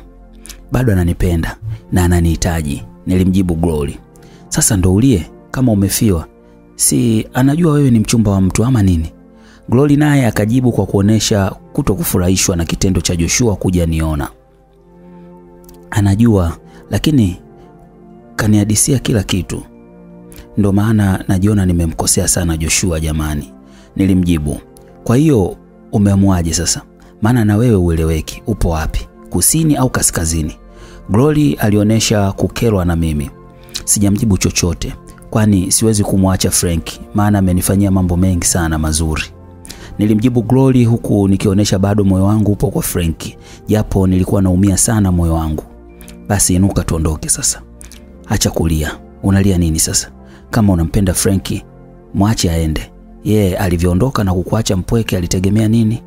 Glory aliongea huku akiniinua na kupanda kwenye gari na kurudi nyumbani, huku bado nikiwa na mawazo kichwani mwangu. Siku hiyo Frank alinipigia tutoke out, lakini nilikataa, kwani sikuwa sawa kabisa. Zilibaki siku chache tumalize chuo kikuu, huku harusi ya Glory na kaka Kim ikikaribia, halafu ndo ifate ya kwetu. Tulifanya mitihani na kumaliza chuo, huku kaka, kaka na Glory wakafunga ndoa na kuanza maisha yao mapya ya ndoa. Kwa kipindi chote hiko sikuona Joshua akinisumbua tena tangu kipindi kile cha mwisho kuonana naye chuo. Nikaona yale aliyoniambia hata nitafuta tena ilikuwa kweli. Basi niliamua kumwelezea mama kuhusu mimi na Joshua. Tuliwahi kuwa na mahusiano na kumwelezea kila kitu, kwani nilihitaji ushauri wake. Mwanangu, wewe sasa hivi ni mchumba wa mtu na unakaribia kufunga ndoa. Mimi nakuomba kama mama yako utulize akili, kwani ulikubali kuvishwa pete na Frank kwa sababu uliona ni mwanaume anayekufaa. Sasa ukienda kinyume, utatutia aibu kwenye familia yetu. Mama alinisisitiza sana, lakini mama, naona kama nimemkosea Joshua sana tu. Nilimwambia mama, hata yeye amekukosea sana na uamuzi ulioufanya sio mbaya, kwani si unampenda Frank? Mama aliniuliza swali ambalo niliona ni gumu kwangu. Ndiyo mama, nilimjibu. Basi tulia na mwanaume mmoja ambaye ni Frank. Mama aliniasa huku nikikubali ushauri wake, kwani zilibaki kama wiki tufunge ndoa na Frank. Siku hiyo nikatoka zangu nikaenda kwa mume wangu mtarajiwa bwana Frank, nikamsalimie maana nilimmisi. Nikaingia na kukuta viatu vya mwanamke mlangoni.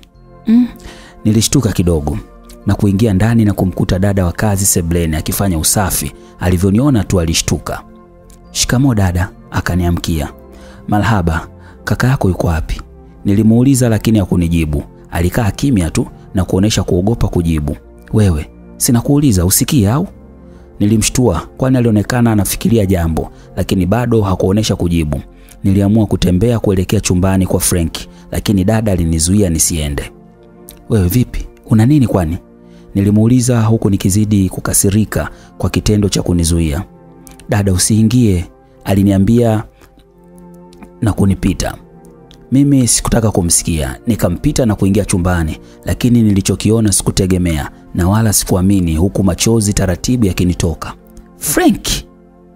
Nilimwita Frank na kufanya shtuke na kujitoa mwilini kwa msichana ambaye sikumfahamu, huku wakiwa watupu. Love! Na yeye aliniita kwa mshangao, kwani hakutegemea ningekuja muda ule.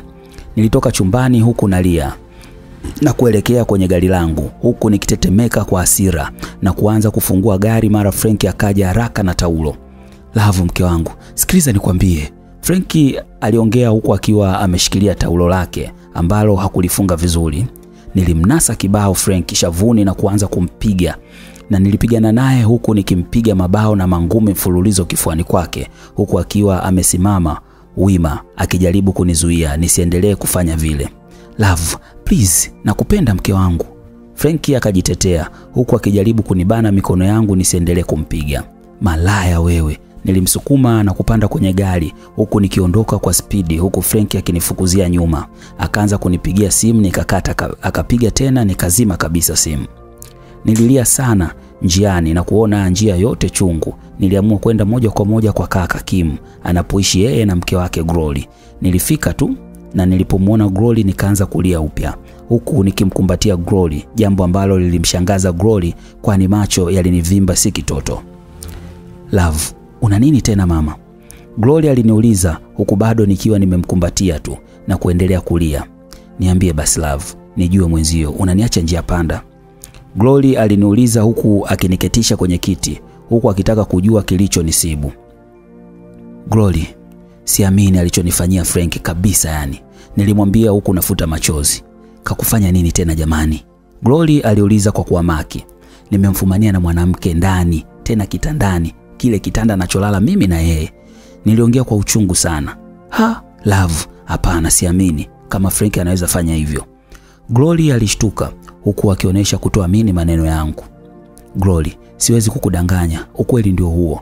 Nimeumia sana, sijui nimemkosea nini hadi kuniumiza kiasi hiki. Nilimjibu huku bado machozi tu yakiendelea kunitoka.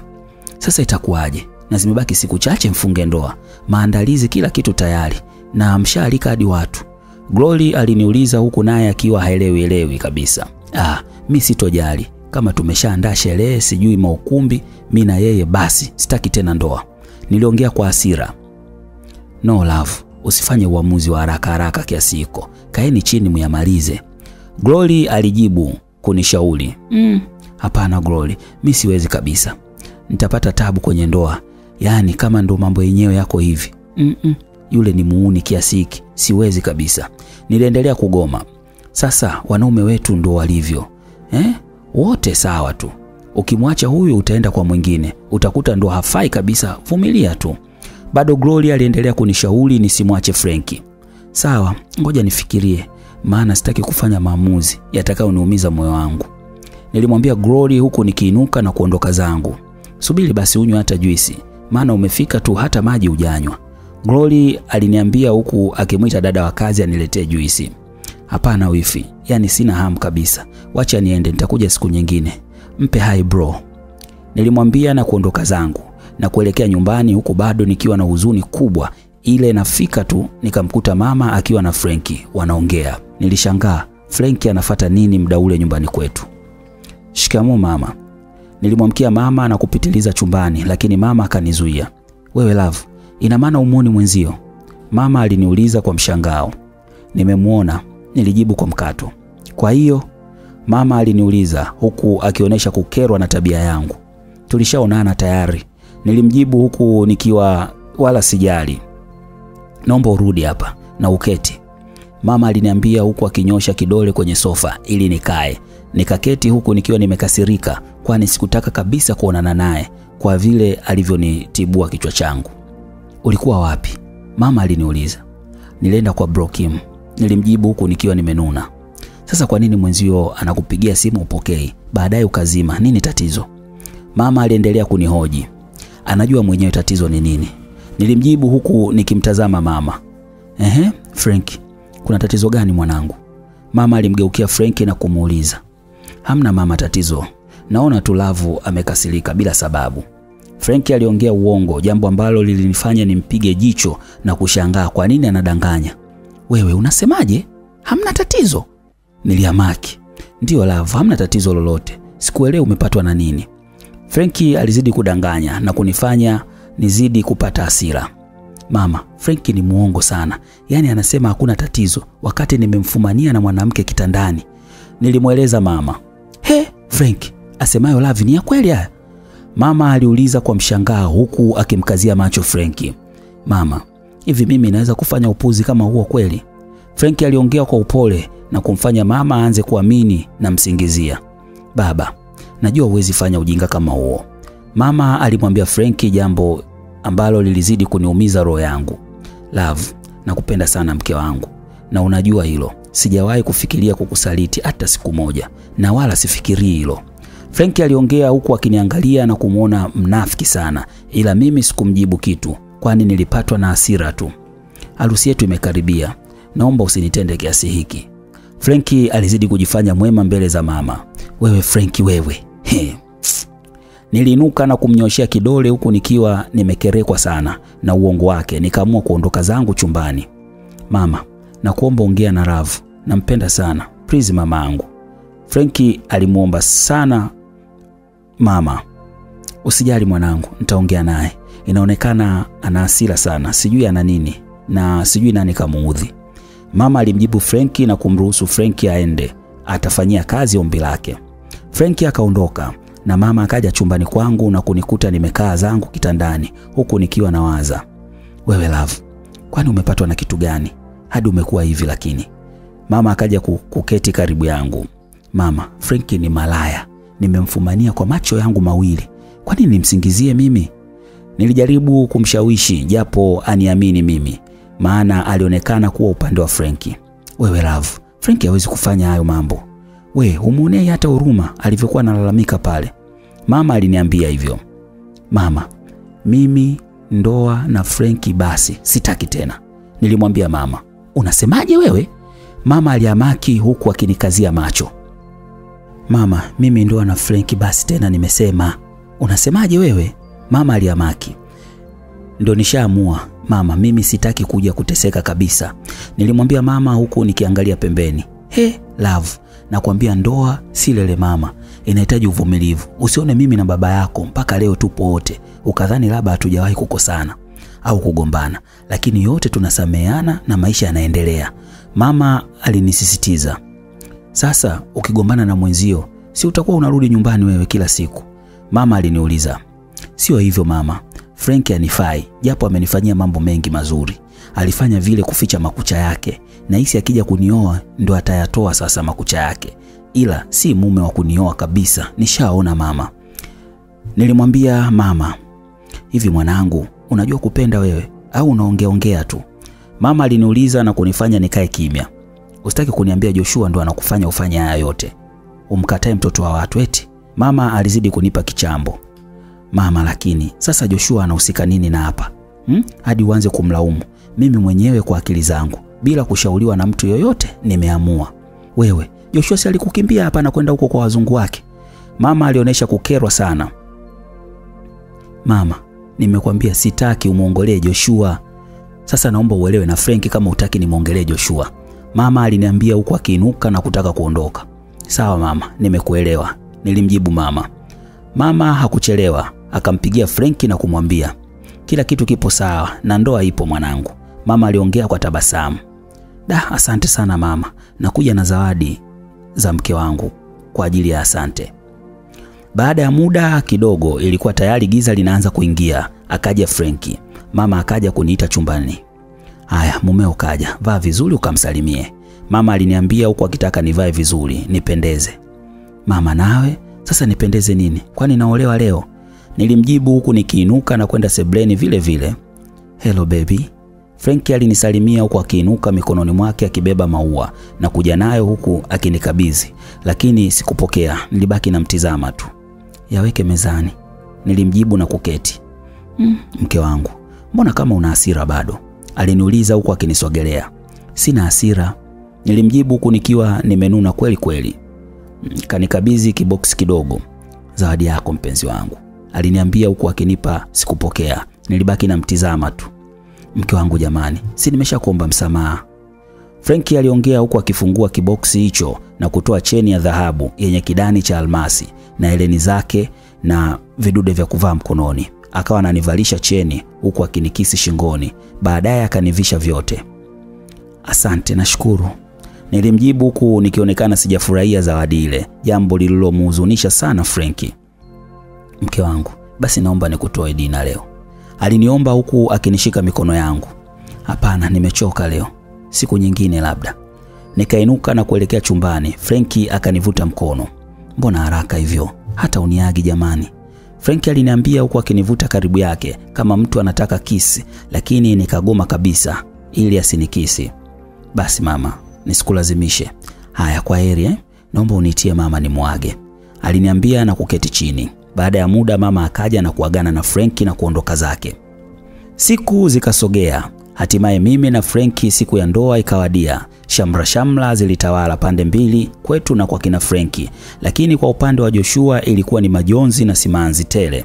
Ndipo aliamua kuongea na mama yake anavyojisikia vibaya kunikosa katika maisha yake. Mama, kama unavyojua leo ndo siku ya ndoa kati ya Frenki na Love. Joshua alimwambia mama yake. Nafahamu mwanangu, na nimealikwa. Mama yake aliongea pia kwa majonzi. Ila mama, mimi nimeamua kurudi Marekani kuanza maisha yangu upya, kwani Love nishamkosa, sina budi kuondoka zangu. Joshua aliongea kwa huzuni sana. Sasa tiketi umeshakata? Mama yake alimuuliza. Ndiyo mama, naondoka na ndege ya saa nane mchana. Joshua alimjibu mama yake, mwanangu, nitakumisi sana mtoto wangu, mtoto mwenyewe ni mmoja tu jamani. Mama yake aliongea kwa huzuni. Usijali mama yangu, nitakuwa nakuja kukusalimia. Hata hivyo naenda kwa muda mpaka akili yangu itulie, nipate mke ndo nitarudi. Joshua alimwambia mama yake na kumpa moyo. Kwa upande wetu sisi, muda wa kwenda saluni ulifika. Tukawa saluni kuendelea kulembwa mpaka mida ya mchana inakaribia kuingia. Kanisani nikamuuliza yule binti wa saluni anionyeshe chooni ni wapi nikajisaidie. Dada, toileti ni wapi?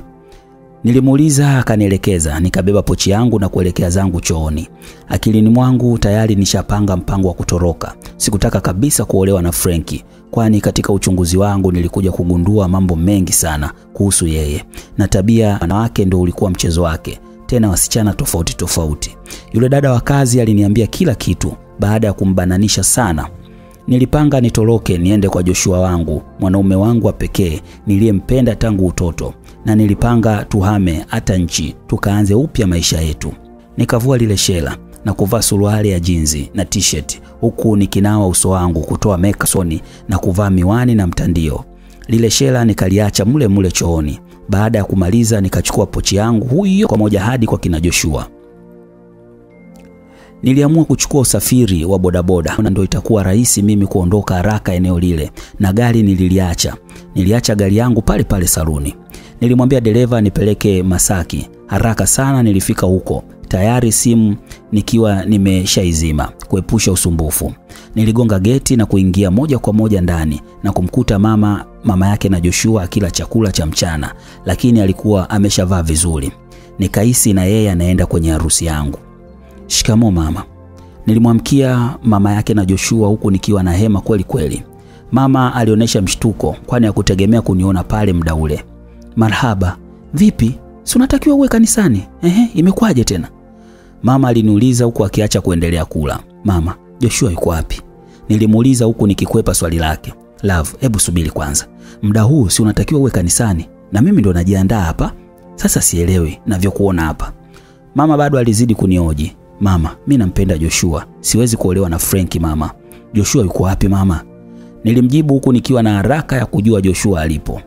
Hmm, sasa mwanangu, Joshua hayupo, yaani kama mmepishana kama dakika thelathini hivi. Mama alinijibu. Basi mi nitamsubiri hapa hapa, haina shida.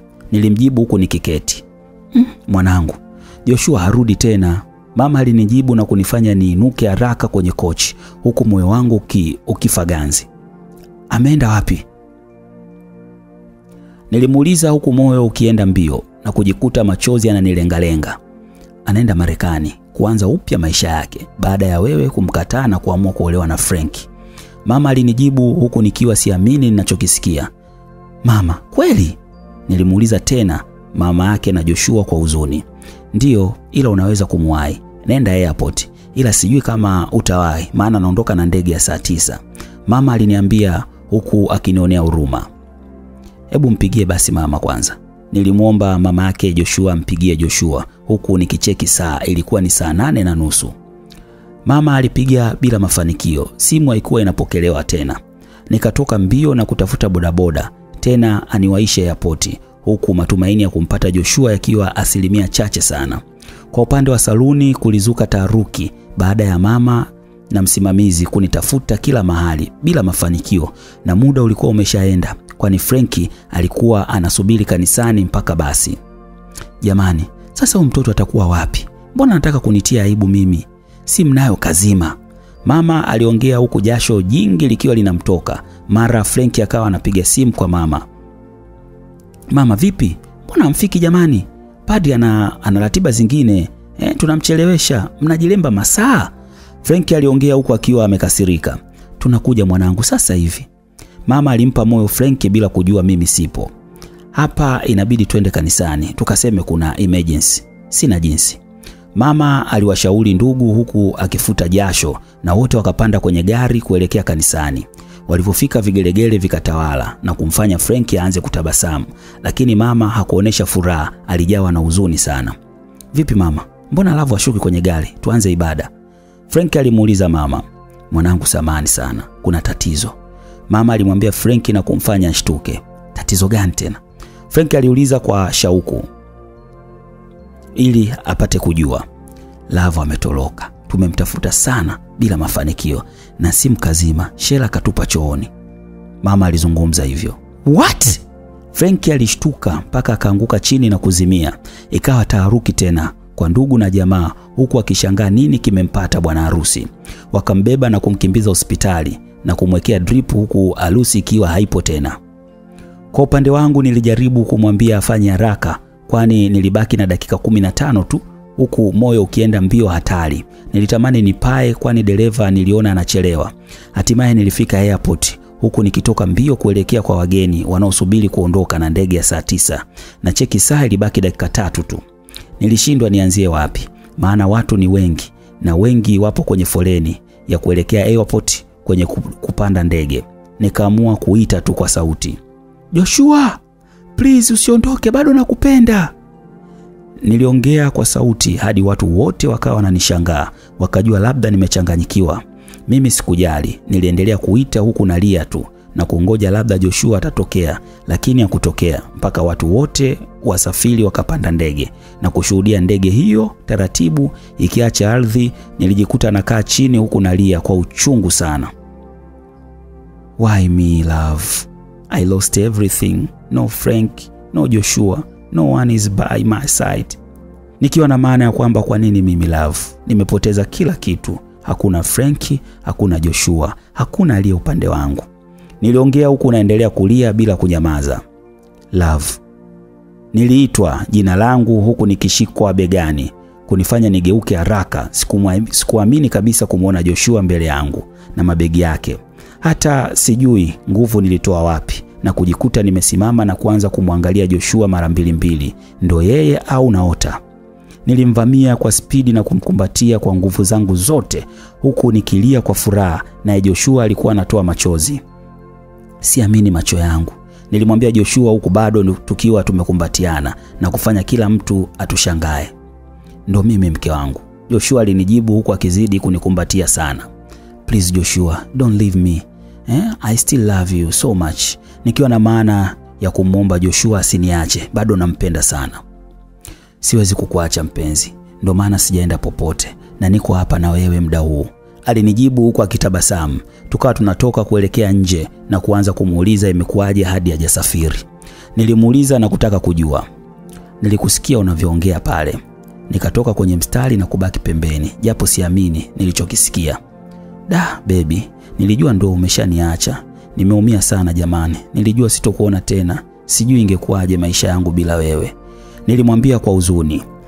Love, nakupenda sana mke wangu, ila sijajua leo, si ndo harusi yako, imekuwaje sasa?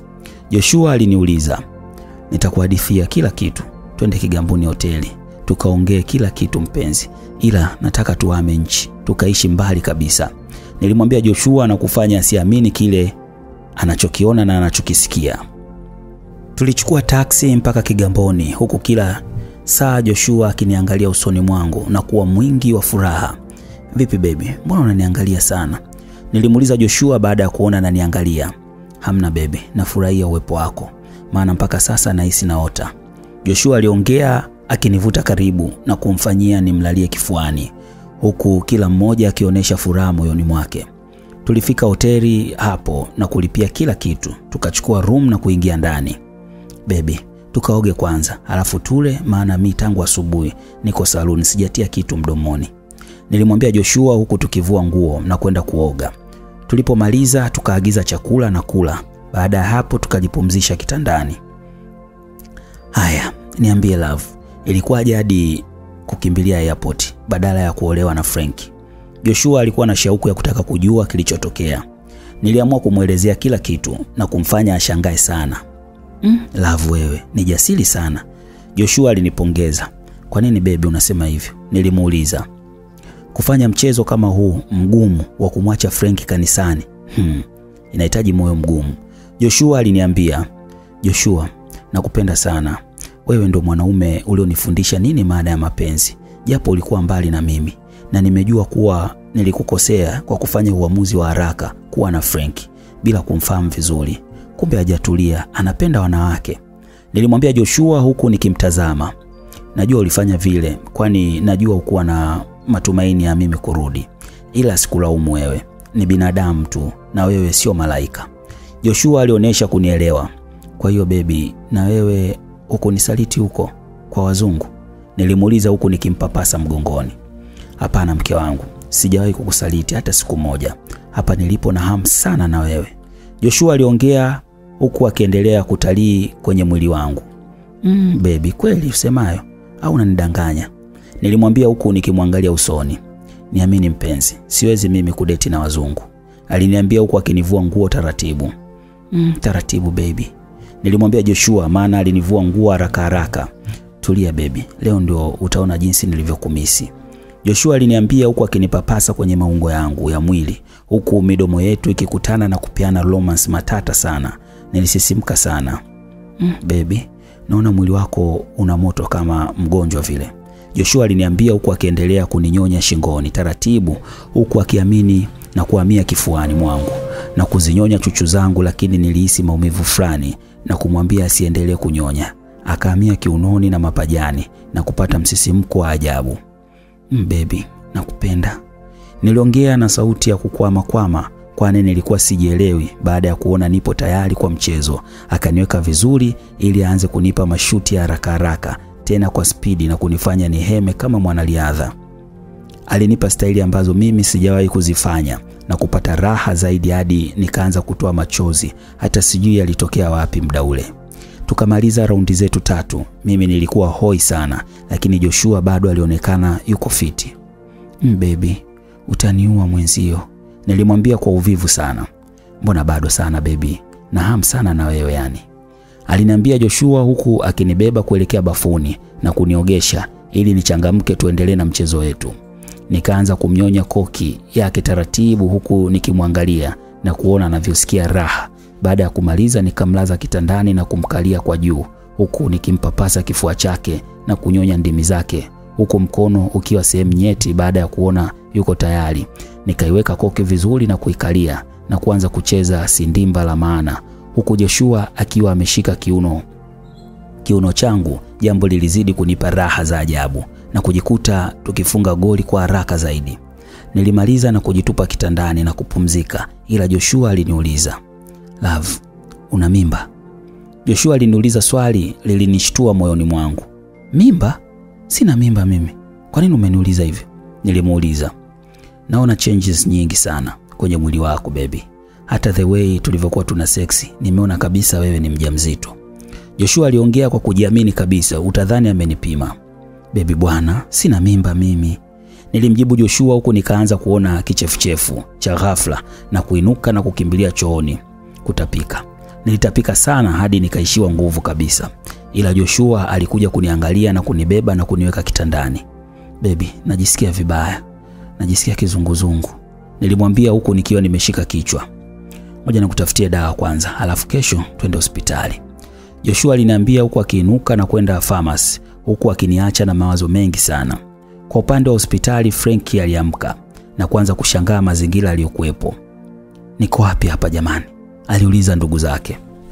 Upo hospitali, ulizimia jana kanisani, walimjibu huku wakimwambia aendelee kupumzika.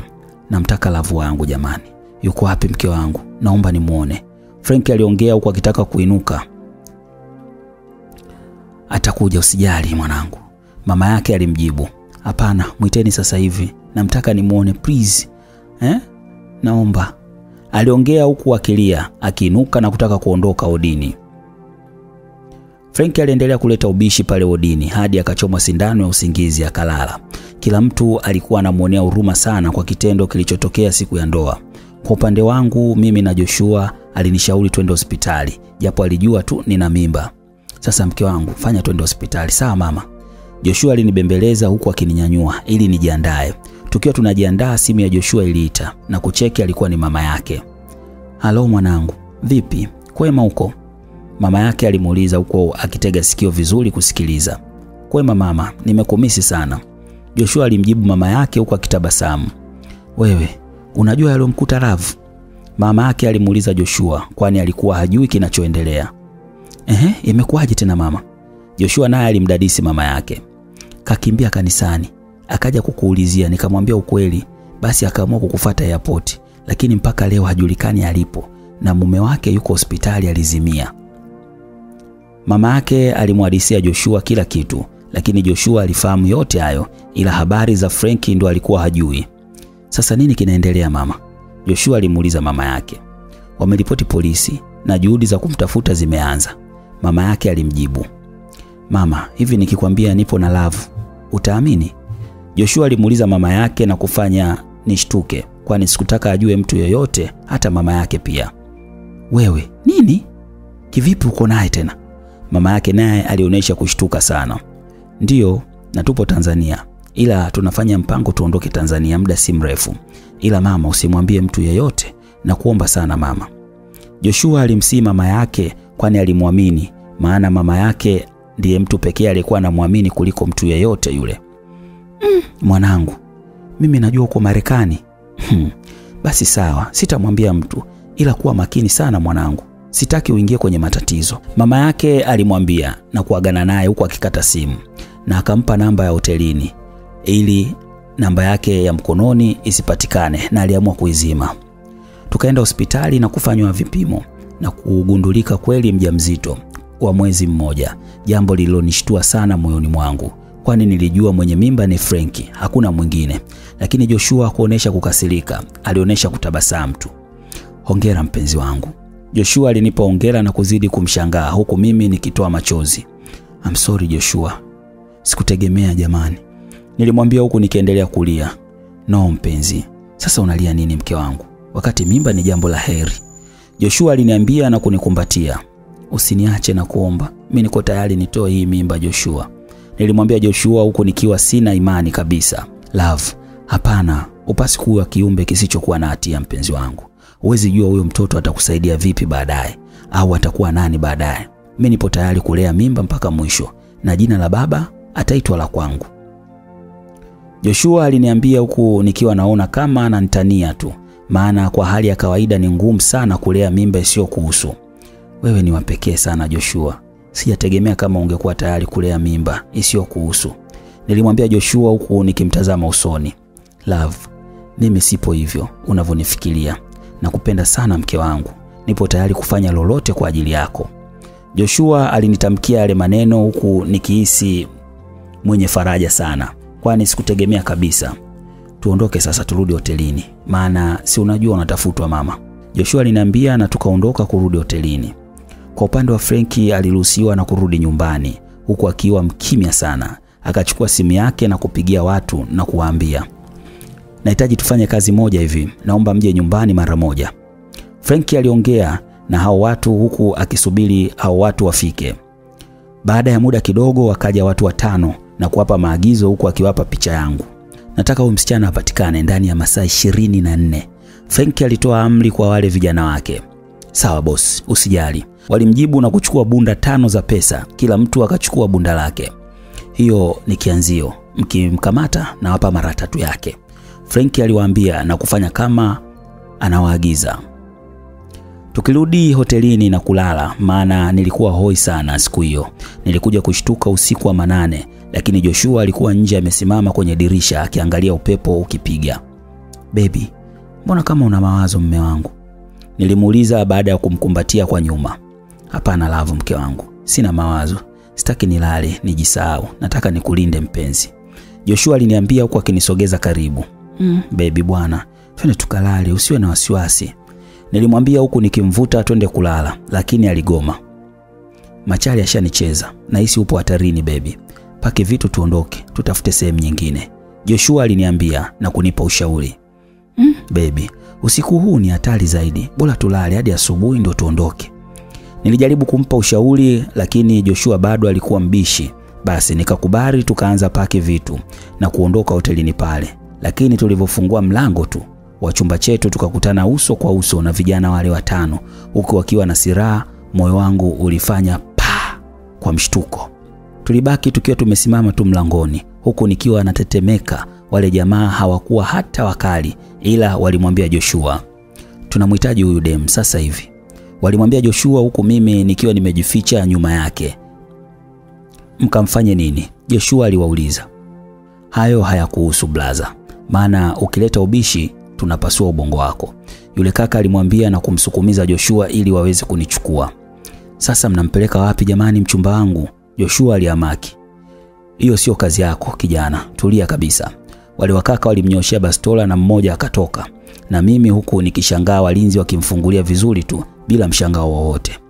Baada ya muda kidogo, wakaja wale jamaa wanne wakapanda kwenye gari na kuondoka na mimi. Jamani, mnanipeleka wapi? Nilijaribu kuwauliza lakini hakuna aliyenijibu zaidi ya kuniangalia tu. Nilishuhudia wakifika kwenye nyumba ambayo sikujua na kuingia ndani ya geti huku nikishushwa kwenye gari huku wakinifunga kamba na kunitupa kitandani na kunifungia mlango. Sikuweza kupata usingizi hata kidogo, kwani nililia sana na kutaka kurudi kwa Joshua wangu. Joshua aliamua kuwafuatilia kwa nyuma hadi kuona tunapoingia, ndipo akajibanza sehemu na kujaribu kulala kwenye gari ili pakuche aweze kunisaidia. Siwezi kumwona mke wangu akiumizwa alafu mimi nipo, Joshua alijiongelea mwenyewe. Asubuhi na mapema nililetewa chai ninywe, lakini nilikataa, kwani sikuwa na hamu hata ya kula. Nilishinda na njaa mpaka mchana, nikawa natapika nyongo tu. Baada nilishiwa nguvu, nilianza kumkumbuka Joshua na kutamani aje kuniokoa mikononi mwa hawa watu ambao sikuwafahamu. Nikiwa kwenye limbwi la mawazo, walikuja na kunitoa mle chumbani. Sikuweza kutembea vizuri kutokana na njaa hadi nikawa naona kizunguzungu. Waliniweka kwenye chumba ambacho hakukuwa na kitu zaidi ya stuli moja tu na taa kubwa ambayo ilileta joto sana ndani. Kwani mnataka nini jamani? Kama ni pesa nitawapa yoyote mnayoitaka. Nilijaribu kuwauliza lakini hawakunijibu hadi nikapatwa na hasira, ila baada ya muda kidogo akaja Frenki akiwa amevalia suti na kofia huku akivuta sigara, jambo lililonishtua sana, kwani sikutegemea kumwona Frenki pale alafu anavuta sigara. Frenki, nilimuita kwa mshangao huku akitabasamu na kuniambia hello my beautiful wife. Aliniita huku akija na kunikumbatia na kuniongelea masikioni, nimekumisi sana mke wangu. Vipi wewe, hujanimisi? Aliniuliza kama nanikejeli hivi. Nikajitoa mwilini mwake na kumsukumiza. Frenki, wewe ni shetani sana, yaani wewe ndo wa kunikodia majambazi mimi? Niliongea kwa jazba huku nguvu zikiendelea kuniisha. Lavu, unajua wewe ni mwanamke mpumbavu sana, Frenki aliniambia huku akicheka kwa dharau. Mimi sio mpumbavu kama wewe Frenki, nilimjibu, lakini ghafla alinizaba kibao hadi nikapepesuka. Nikataka kumrudishia, lakini alinishika mkono huku akiwa ameukaza na kunifanya niumie. Frank, naumia, naomba uniache, niliongea huku nikihisi maumivu. Hivi wewe, hayo maumivu unayoyapata yanazidi yangu? Aliniuliza huku akinikunja na akiwa amekunja ndita na kuzidi kukaza mkono wangu. Ghafla aliletwa Joshua akiwa amefungwa kamba mkononi na kumtupa kama mzigo. Huyu ndiye aliyekufanya unikimbie kanisani na kunisababishia aibu kwenye familia yangu na hasara kubwa, si ndio? Frenki aliendelea kuongea na kunifanya nikae kimya. Nimekufanyia mambo mangapi wewe kahaba, usiye na fadhila wewe? Huyu si alikukimbia na kukuacha mimi nikakuhudumia wewe hadi nataka kukuoa ndo anajitokeza. Frenki aliendelea kuongea huku macho yangu yakiwa kwa Joshua. Frenki, sikupendi hata ufanye nini, sitokupenda. Wewe ni malaya sana, unatumia pesa zako kupata wanawake, nilimwambia kwa hasira na kufanya acheke. Sasa nyie makahaba wa chuo, si ndio mnapenda pesa? Nimekupa kila kitu kwa ajili yako, lakini leo ndio fadhila hizi. Hivi unajua wewe bado ni mchumba wangu kisheria? Frenki aliniuliza. Utajua mwenyewe, ila sikupendi na sijawahi kukupenda maisha yangu yote.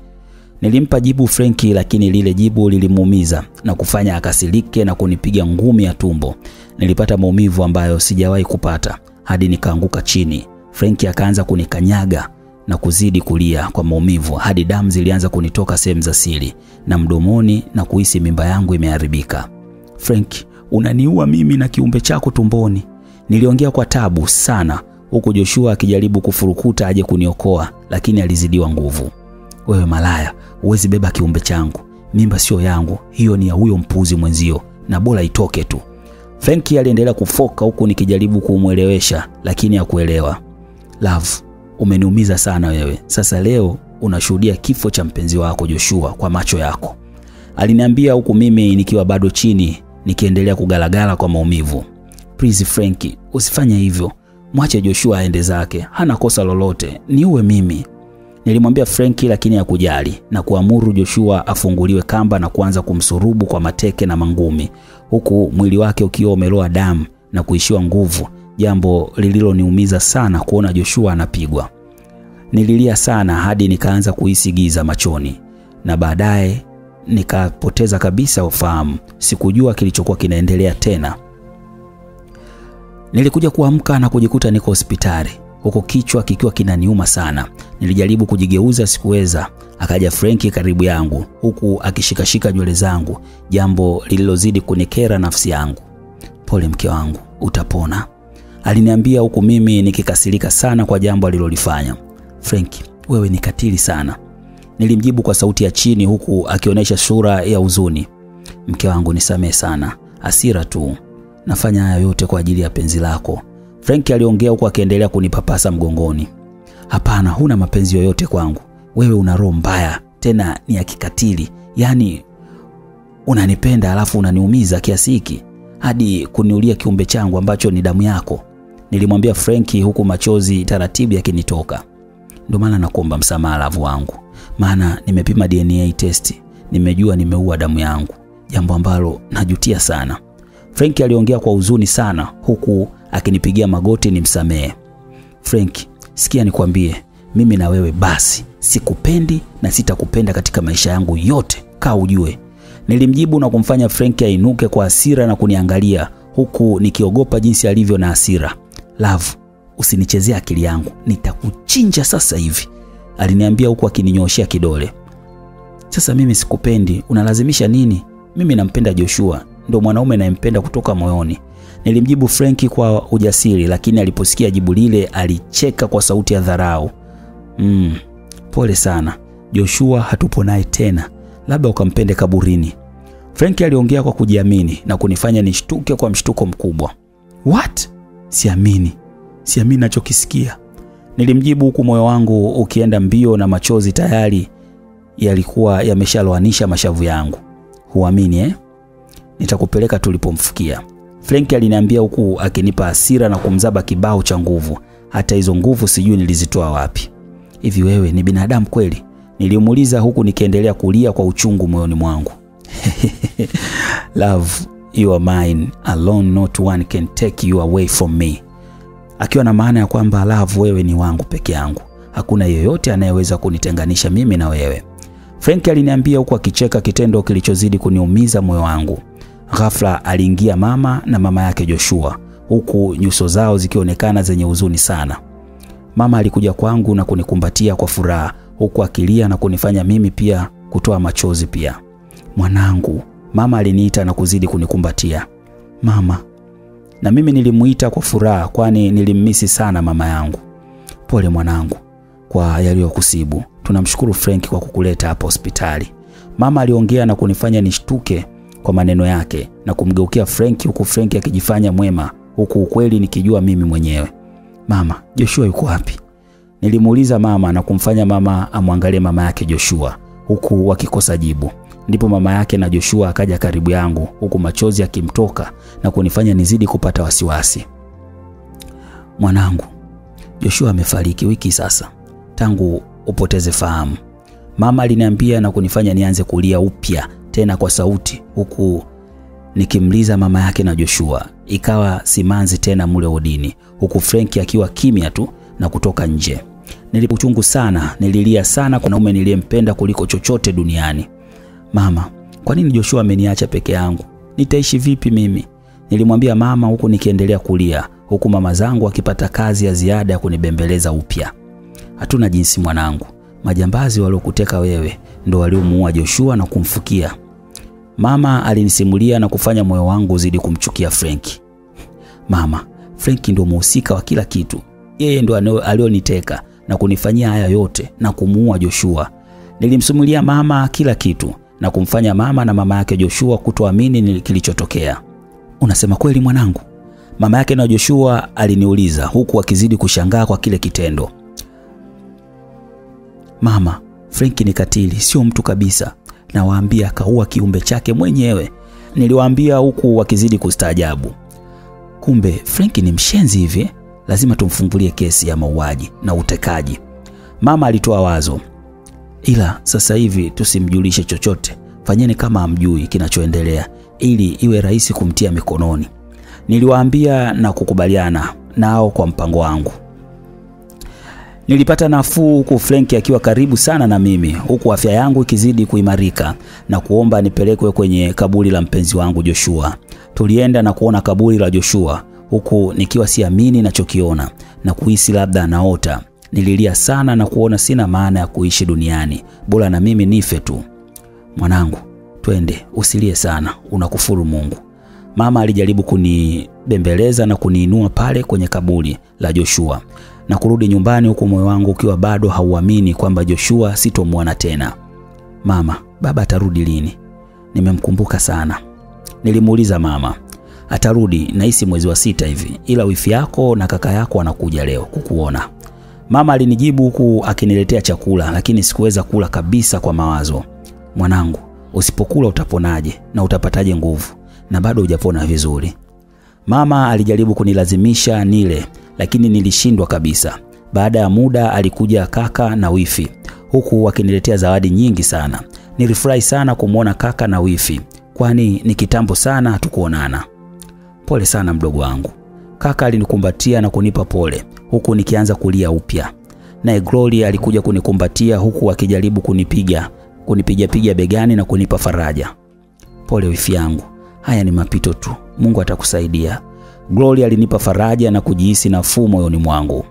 Tulikaa na kupanga mikakati ya kumkamata Frenki na kumfungulia kesi ya mauaji. Hatimaye Frenki alikamatwa na kuwekwa ndani, ila ulihitajika ushahidi wa kuweza kumtia hatiani Frenki.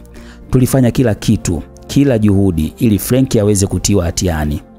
Glory alinitembeza sehemu mbalimbali kunifanya nitoe mawazo. Nikawa napunga upepo huku nikijaribu kula matunda. Akaja mkaka karibu yangu akiwa amevaa miwani na kunisalimia. Mambo love. Alinisalimia huku akionyesha kunijua. Nilimgeukia na kumtazama. Poa, karibu.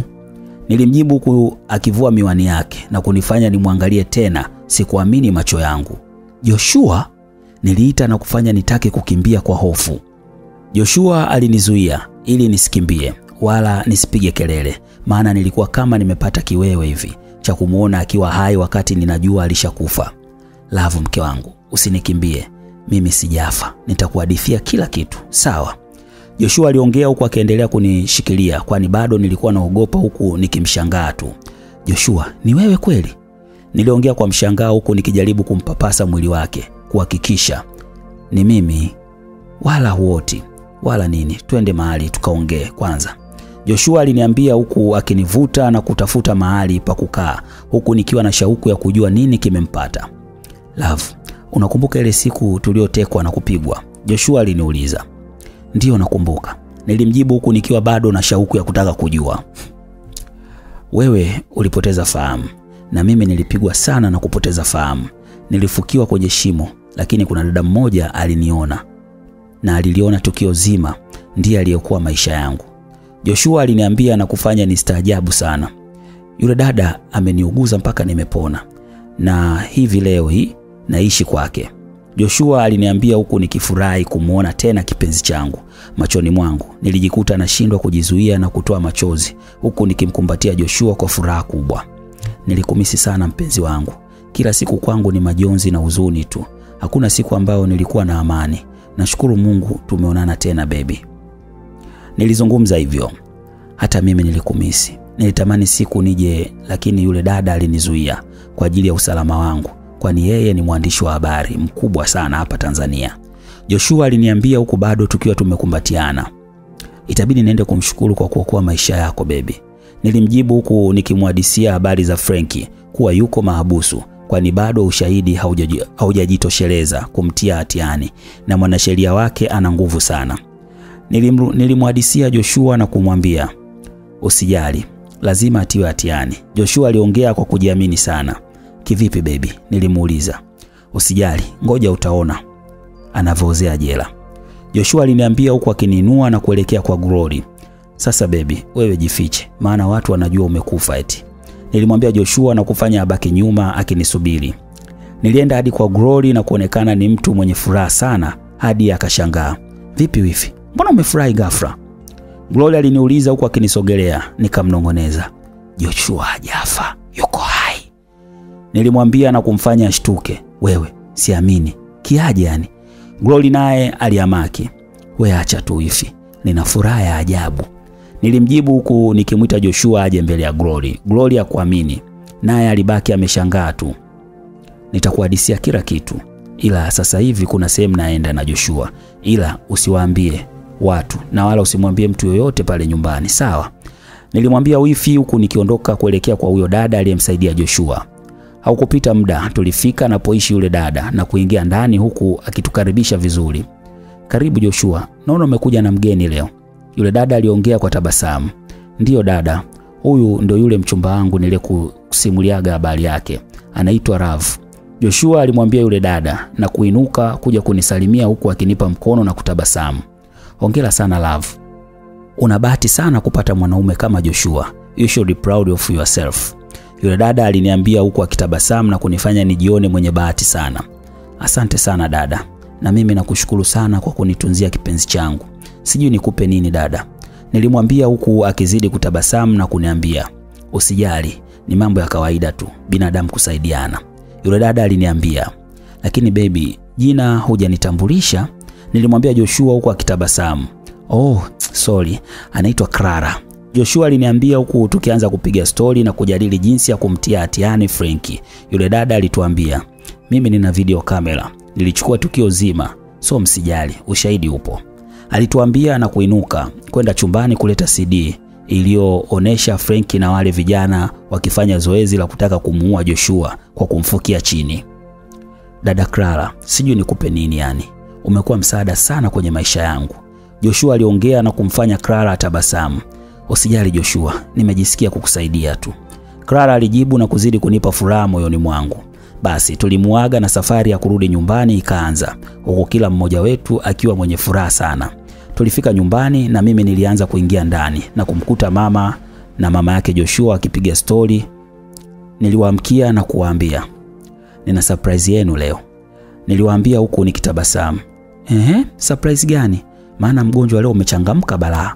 Mama yake na Joshua aliniambia. Nilifungua mlango na kumruhusu Joshua aingie ndani. Nilimkaribisha Joshua ndani, kila mtu hakuamini alichokiona mbele yake, zaidi ya kutaka kukimbia asikimbie na kuwasii watulie, Joshua awahadithie kila kitu. Mama zangu, mimi sifa, tafadhali msinikimbie, Joshua alijaribu kuwaambia mama na mama yake angu, ingawa mioyo yao ilionekana kutoamini wanachokiona. Joshua mwanangu, ni wewe kweli? Mama yake Joshua aliuliza huku akiwa bado haamini, huku machozi yakimtoka. Ni mimi mama, Joshua aliwaambia huku akimsogelea mama yake aweze kumgusa. Mwanangu, siamini jamani. Mama yake alimkumbatia Joshua huku akilia kwa machozi ya furaha na kufanya wote tufurahi kwa kitendo kile. Mama, ni stori ndefu, nitakusimulia yote yaliyonisibu. Joshua alimwambia mama yake na kufanya afute machozi huku akiketi chini na kuanza kumsimulia mwanzo hadi mwisho na kufanya kila mtu pale ndani kustaajabu. Pole sana mwanangu, umepitia maswaibu mengi bado ukiwa mdogo sana. Mama yangu alimwambia Joshua kwa huzuni. Usijali mama, cha muhimu niko hai. Joshua aliwaambia furahi kwa uwepo wa Joshua tena kwenye mtu. Baba yako huko alipo akisikia atafurahi sana, maana kile kifo chako kilimwathiri sana. Mama yake na Joshua alimwambia Joshua huku bado mama yake akionekana haamini. nimemkumbuka sijui atarudi lini. Joshua alimwambia mama yake. Akisikia upo hai atarudi haraka kukuona. Mama yake Joshua alimjibu na kufanya nitabasamu kuona familia imekuwa ya furaha tena. Huyo dada alikusaidia, ana ushahidi na kesi ni kesho inaendelea na hukumu inaweza kuwa kesho. Sasa kama tutakosa ushahidi, Frenki ataachiwa huru. Mama alimuuliza Joshua, msiwe na shaka, wala msiofu wazazi wangu. Joshua aliwaambia tukila chakula cha jioni pamoja na wakina Joshua waliaga na kuondoka huku tukisubiri kesho mahakamani. Ulipofika muda wa kulala, Joshua alinitumia teksti na kuniambia, usiku mwema mke wangu, nakupenda sana. Nilitabasamu na kumjibu, na kupenda ulale salama. Asubuhi na mapema tuliamka na kujiandaa kwenda mahakamani kusikiliza kesi inayoendelea. Tulifurahi kumwona Clara akifika mapema sana na kumtambulisha kwa mama na mama yake Joshua, huku wakimshukuru kwa wema wake. Hatimaye kesi ilianza na mimi nilipanda kutoa ushahidi na Joshua alipanda kutoa ushahidi wake na kufanya Frank ashtuke, kwani alijua Joshua alishakufa siku nyingi. Jambo lile la kumwona Joshua lilimnyima raha kabisa. Joshua alitoa ushahidi wake vizuri sana. Kuja Clara kupanda kizimbani, lakini Frenki alivyomwona Clara alishtuka sake. Clara, wakawa wanaangaliana kwa sekunde kadhaa. Kitendo kile kilitush... nilimuuliza Joshua na kumfanya yeye kushangaa hata mimi, lakini alikuwa na, kwani alikuwa na mambo ya ajabu kipigo na kuniambia haya mambo hayanihusu. Nilivyoamua kudadisi, akagundua fanya vibaya na kuagiza ni uwawe ili nisitoe siri hii. Clara aliongea huku akifuta machozi ana, kwani katika nilijia, nilijiinamia na kuanza kulia. Lavu mpenzi, naomba usilie sawa mama, huna haja ya kulia leo, ndo mwisho wake, tutaishi maisha kwa amani kabisa. Clara aliendelea kueleza mambo mengi sana. Sikuwahi kuwaza kama nilikuwa naishi na mtu wa aina hii. Nilimwambia Joshua na kumfanya niangalie na kunituliza, nitulie, nisikilize kule mbele. Basi Clara alitoa CD na kuomba mahakama iangalie ile CD na kufanya kila mtu awe na shauku ya kujua kuna nini mle ndani ya CD. Tulikodolea macho kwenye skrini huku Frenki jasho jingi likiwa linamchuruzika. Pia alionyesha kutetemeka huku macho yake yakiwa kwa Clara. CD ilionyesha jinsi Joshua alivyokuwa anateswa na kuchimbiwa shimo huku akifukiwa na Frenki akishirikiana na vijana wake, jambo lililoacha midomo wazi baadhi ya ndugu zake na Frenki, kwani hawakuamini walichokiona na kuwafanya waanze kulia kwa uchungu. Nilipomtazama Frenki nilimwona anatokwa na machozi huku amejiinamia chini. Baada ya kumalizika kwa CD, Clara alishuka kizimbani na kuja kukaa na hakimu alitoa hukumu yake. Tumesikiliza ushahidi wa pande zote mbili na kuona Frenki ana hatia kutoka kifungu namba 123 cha mwaka 2009 kimeprove Frenki una hatia ya utekaji nyara. Kifungu namba 99 cha mwaka 1988 kimeprove Frenki una hatia ya uhalifu wa kutumia silaha ya moto, na kifungu namba 66 cha mwaka 2007 kimeprove Frenki una hatia ya kukusudia kuua. Sisi kama mahakama tunakupa adhabu ya kwenda jela miaka 30 na faini ya shilingi milioni tano na viboko kumi na mbili. Hakimu alimaliza kusoma hukumu, watu wote tulisimama na kesi ikafungwa. Kwa upande wangu mimi na Joshua tulifurahi sana. Finally we made it. Nilimwambia Joshua huku tukiwa tumekumbatiana kwa furaha. Nina furaha sana kwani tunaenda kuishi kwa amani sasa. Joshua aliniambia huku nikimgeukia Clara na kumshukuru. Clara, bila wewe sijui ingekuwaje. Nilimwambia huku nikimkumbatia kwa furaha. Asante sana Clara, bila wewe sijui ingekuwaje. Nilimwambia huku nikimkumbatia kwa furaha. Usijali maidia, ni wajibu wangu. Clara aliniambia huku naye akitabasamu. Pole sana kwa yaliyokukuta. Nilimpa pole kwa unyama aliofanyiwa na Frank. Asante sana. Clara alinijibu huku akimgeukia Joshua na kumkumbatia kwa furaha pia. Clara, sijui nikupe nini mama yangu. Asante sana. Joshua alimwambia Clara huku Clara akiweka mdomo wake kwenye sikio la Joshua na kumnong'oneza. Nahitaji penzi lako kama shukrani. Kitendo kile kilimshtua Joshua na kufanya ajitoe mwilini mwa Clara, kwani bado walikuwa wamekumbatiana. Joshua alivyosikia ile akaondoka huku nikimfata na kumtafuta, nikatoka nje huku nikijaribu pepesa macho. Nikamwona ashapanda kwenye gari na anatusubiri. Vipi baby? Umeondoka ndani hata hujaaga. Mbona umepooza ghafla? Nilimuuliza huku na mimi nikipanda mbele. Wapigia kina mama tuondoke.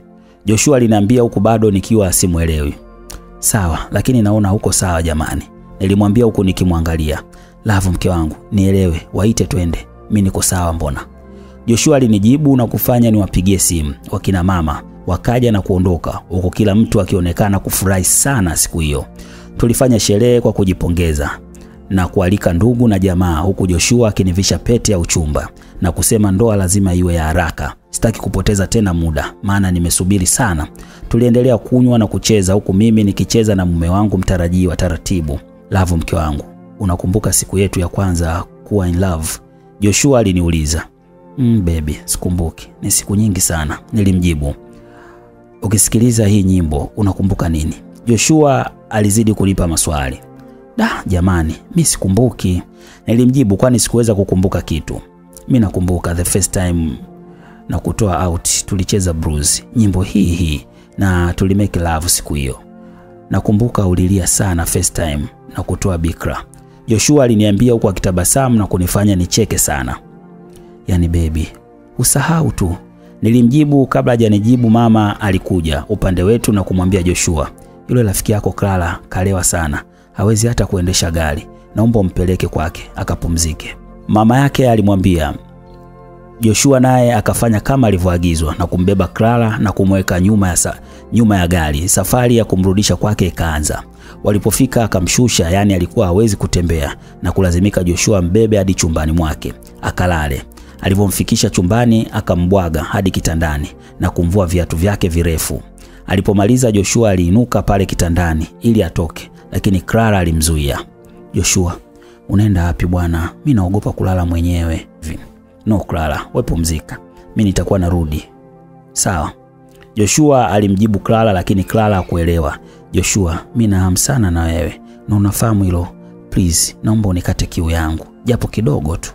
Clara aliongea na kumsogelea Joshua. No Clara, wewe umelewa sasa hivi, ujielewi. Naomba uniache niende.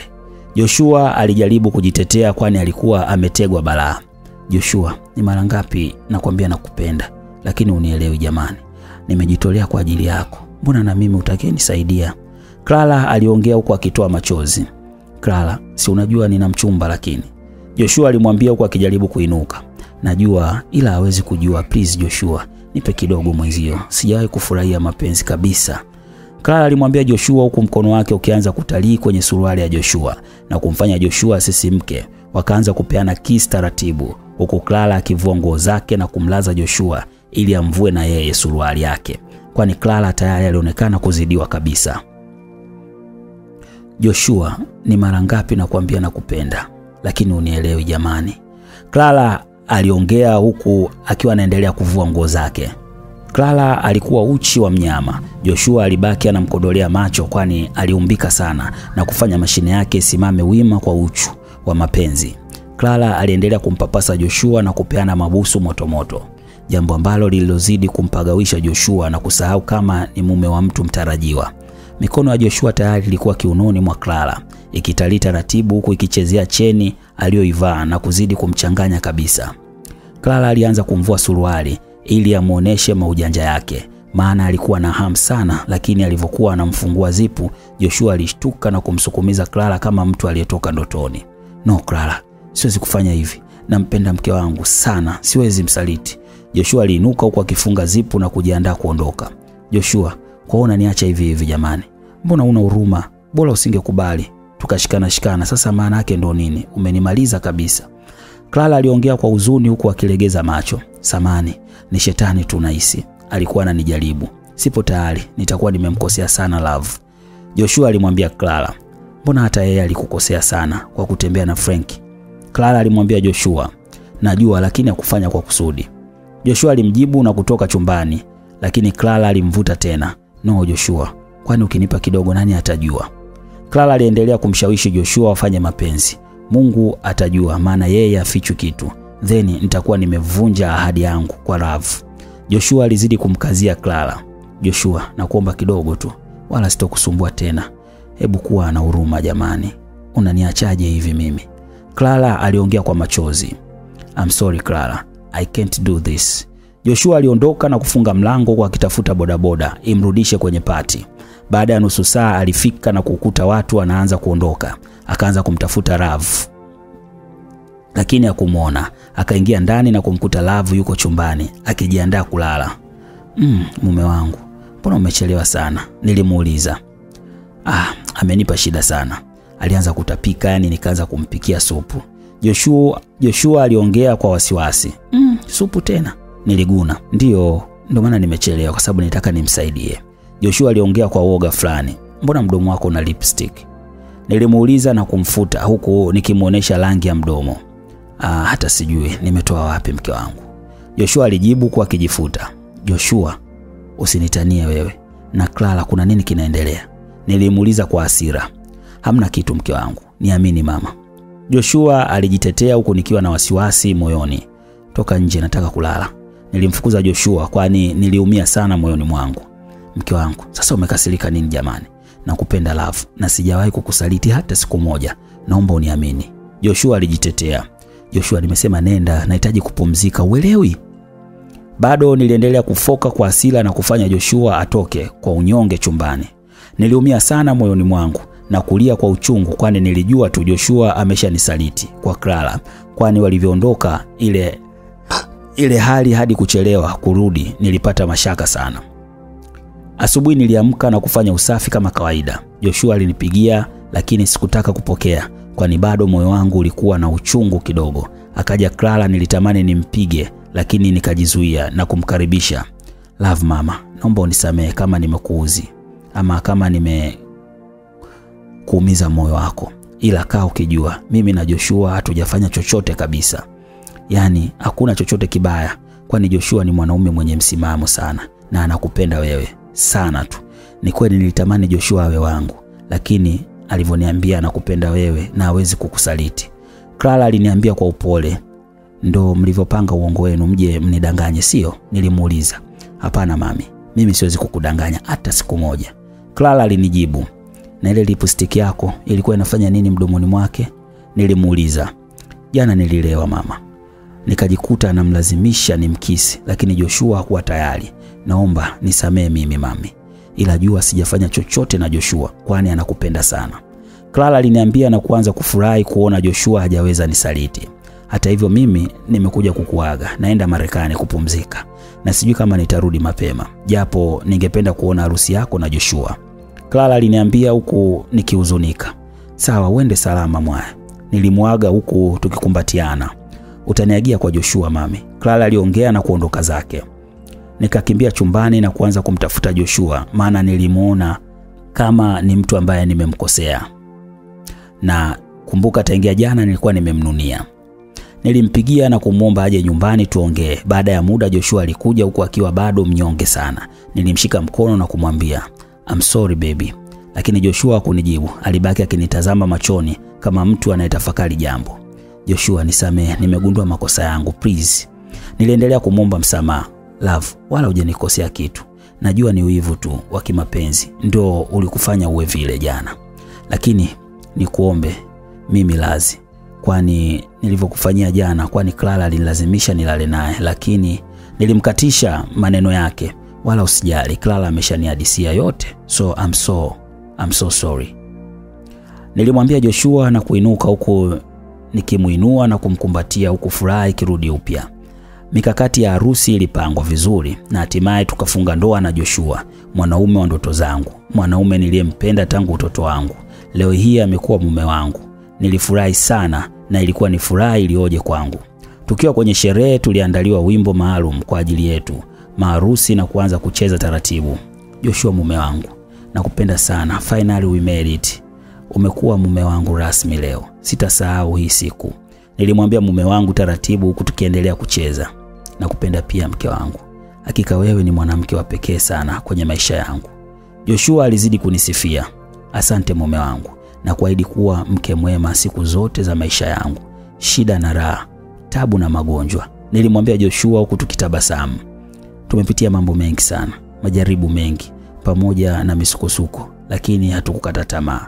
Tuliendelea kupigania penzi letu. Basi naomba hata kwenye ndoa yetu iwe hivi hivi na hakuna kukata tamaa. Joshua alinisihi, wewe ndo kila kitu kwangu mume wangu, nakupenda leo, kesho na hata milele. You are the love of my life. Nilimjibu huku nikikutanisha midomo yetu na kupeana mabusu motomoto, huku kila mmoja wetu machozi yalikuwa yanatoka, hata sijui yalikuwa ya furaha ama ndo nini. Nilijikuta na tabasamu huku nikimfuta machozi mume wangu, naye akaanza kutabasamu. Nikabebwa juu juu huku akinipeleka kwenye gari na safari ya honeymoon ikaanza. Furaha nilionayo haielezeki. Muda wote nilikuwa na tabasamu tu, huku nikimbusu mume wangu kila wakati. Tulipata hoteli moja kubwa sana kwa ajili yetu na kwa ajili ya kuenjoy mimi na mume wangu. Leo nataka nikupe mimba mke wangu kwa mechi ya leo, Joshua aliniambia huku akiwa amenibeba, kwani tulitoka kuoga. Bebi bwana, una vituko, nilimjibu huku nikicheka. Kweli mke wangu, tena ya mapacha kabisa. Joshua aliniambia huku akizima taa na mchezo ukaanza wa kikubwa, huku kila mtu akifurahia mchezo ule, kwani kila mtu alipenda na alikuwa na hamu na mwenzie sana. Na mpaka kufika hapo ndio mwisho wa simulizi yetu hii ya mapenzi kizunguzungu. Mtunzi ni Mage Mage, mimi ni Kigo Time. Hii ni Simulizi Mix. Bye bye.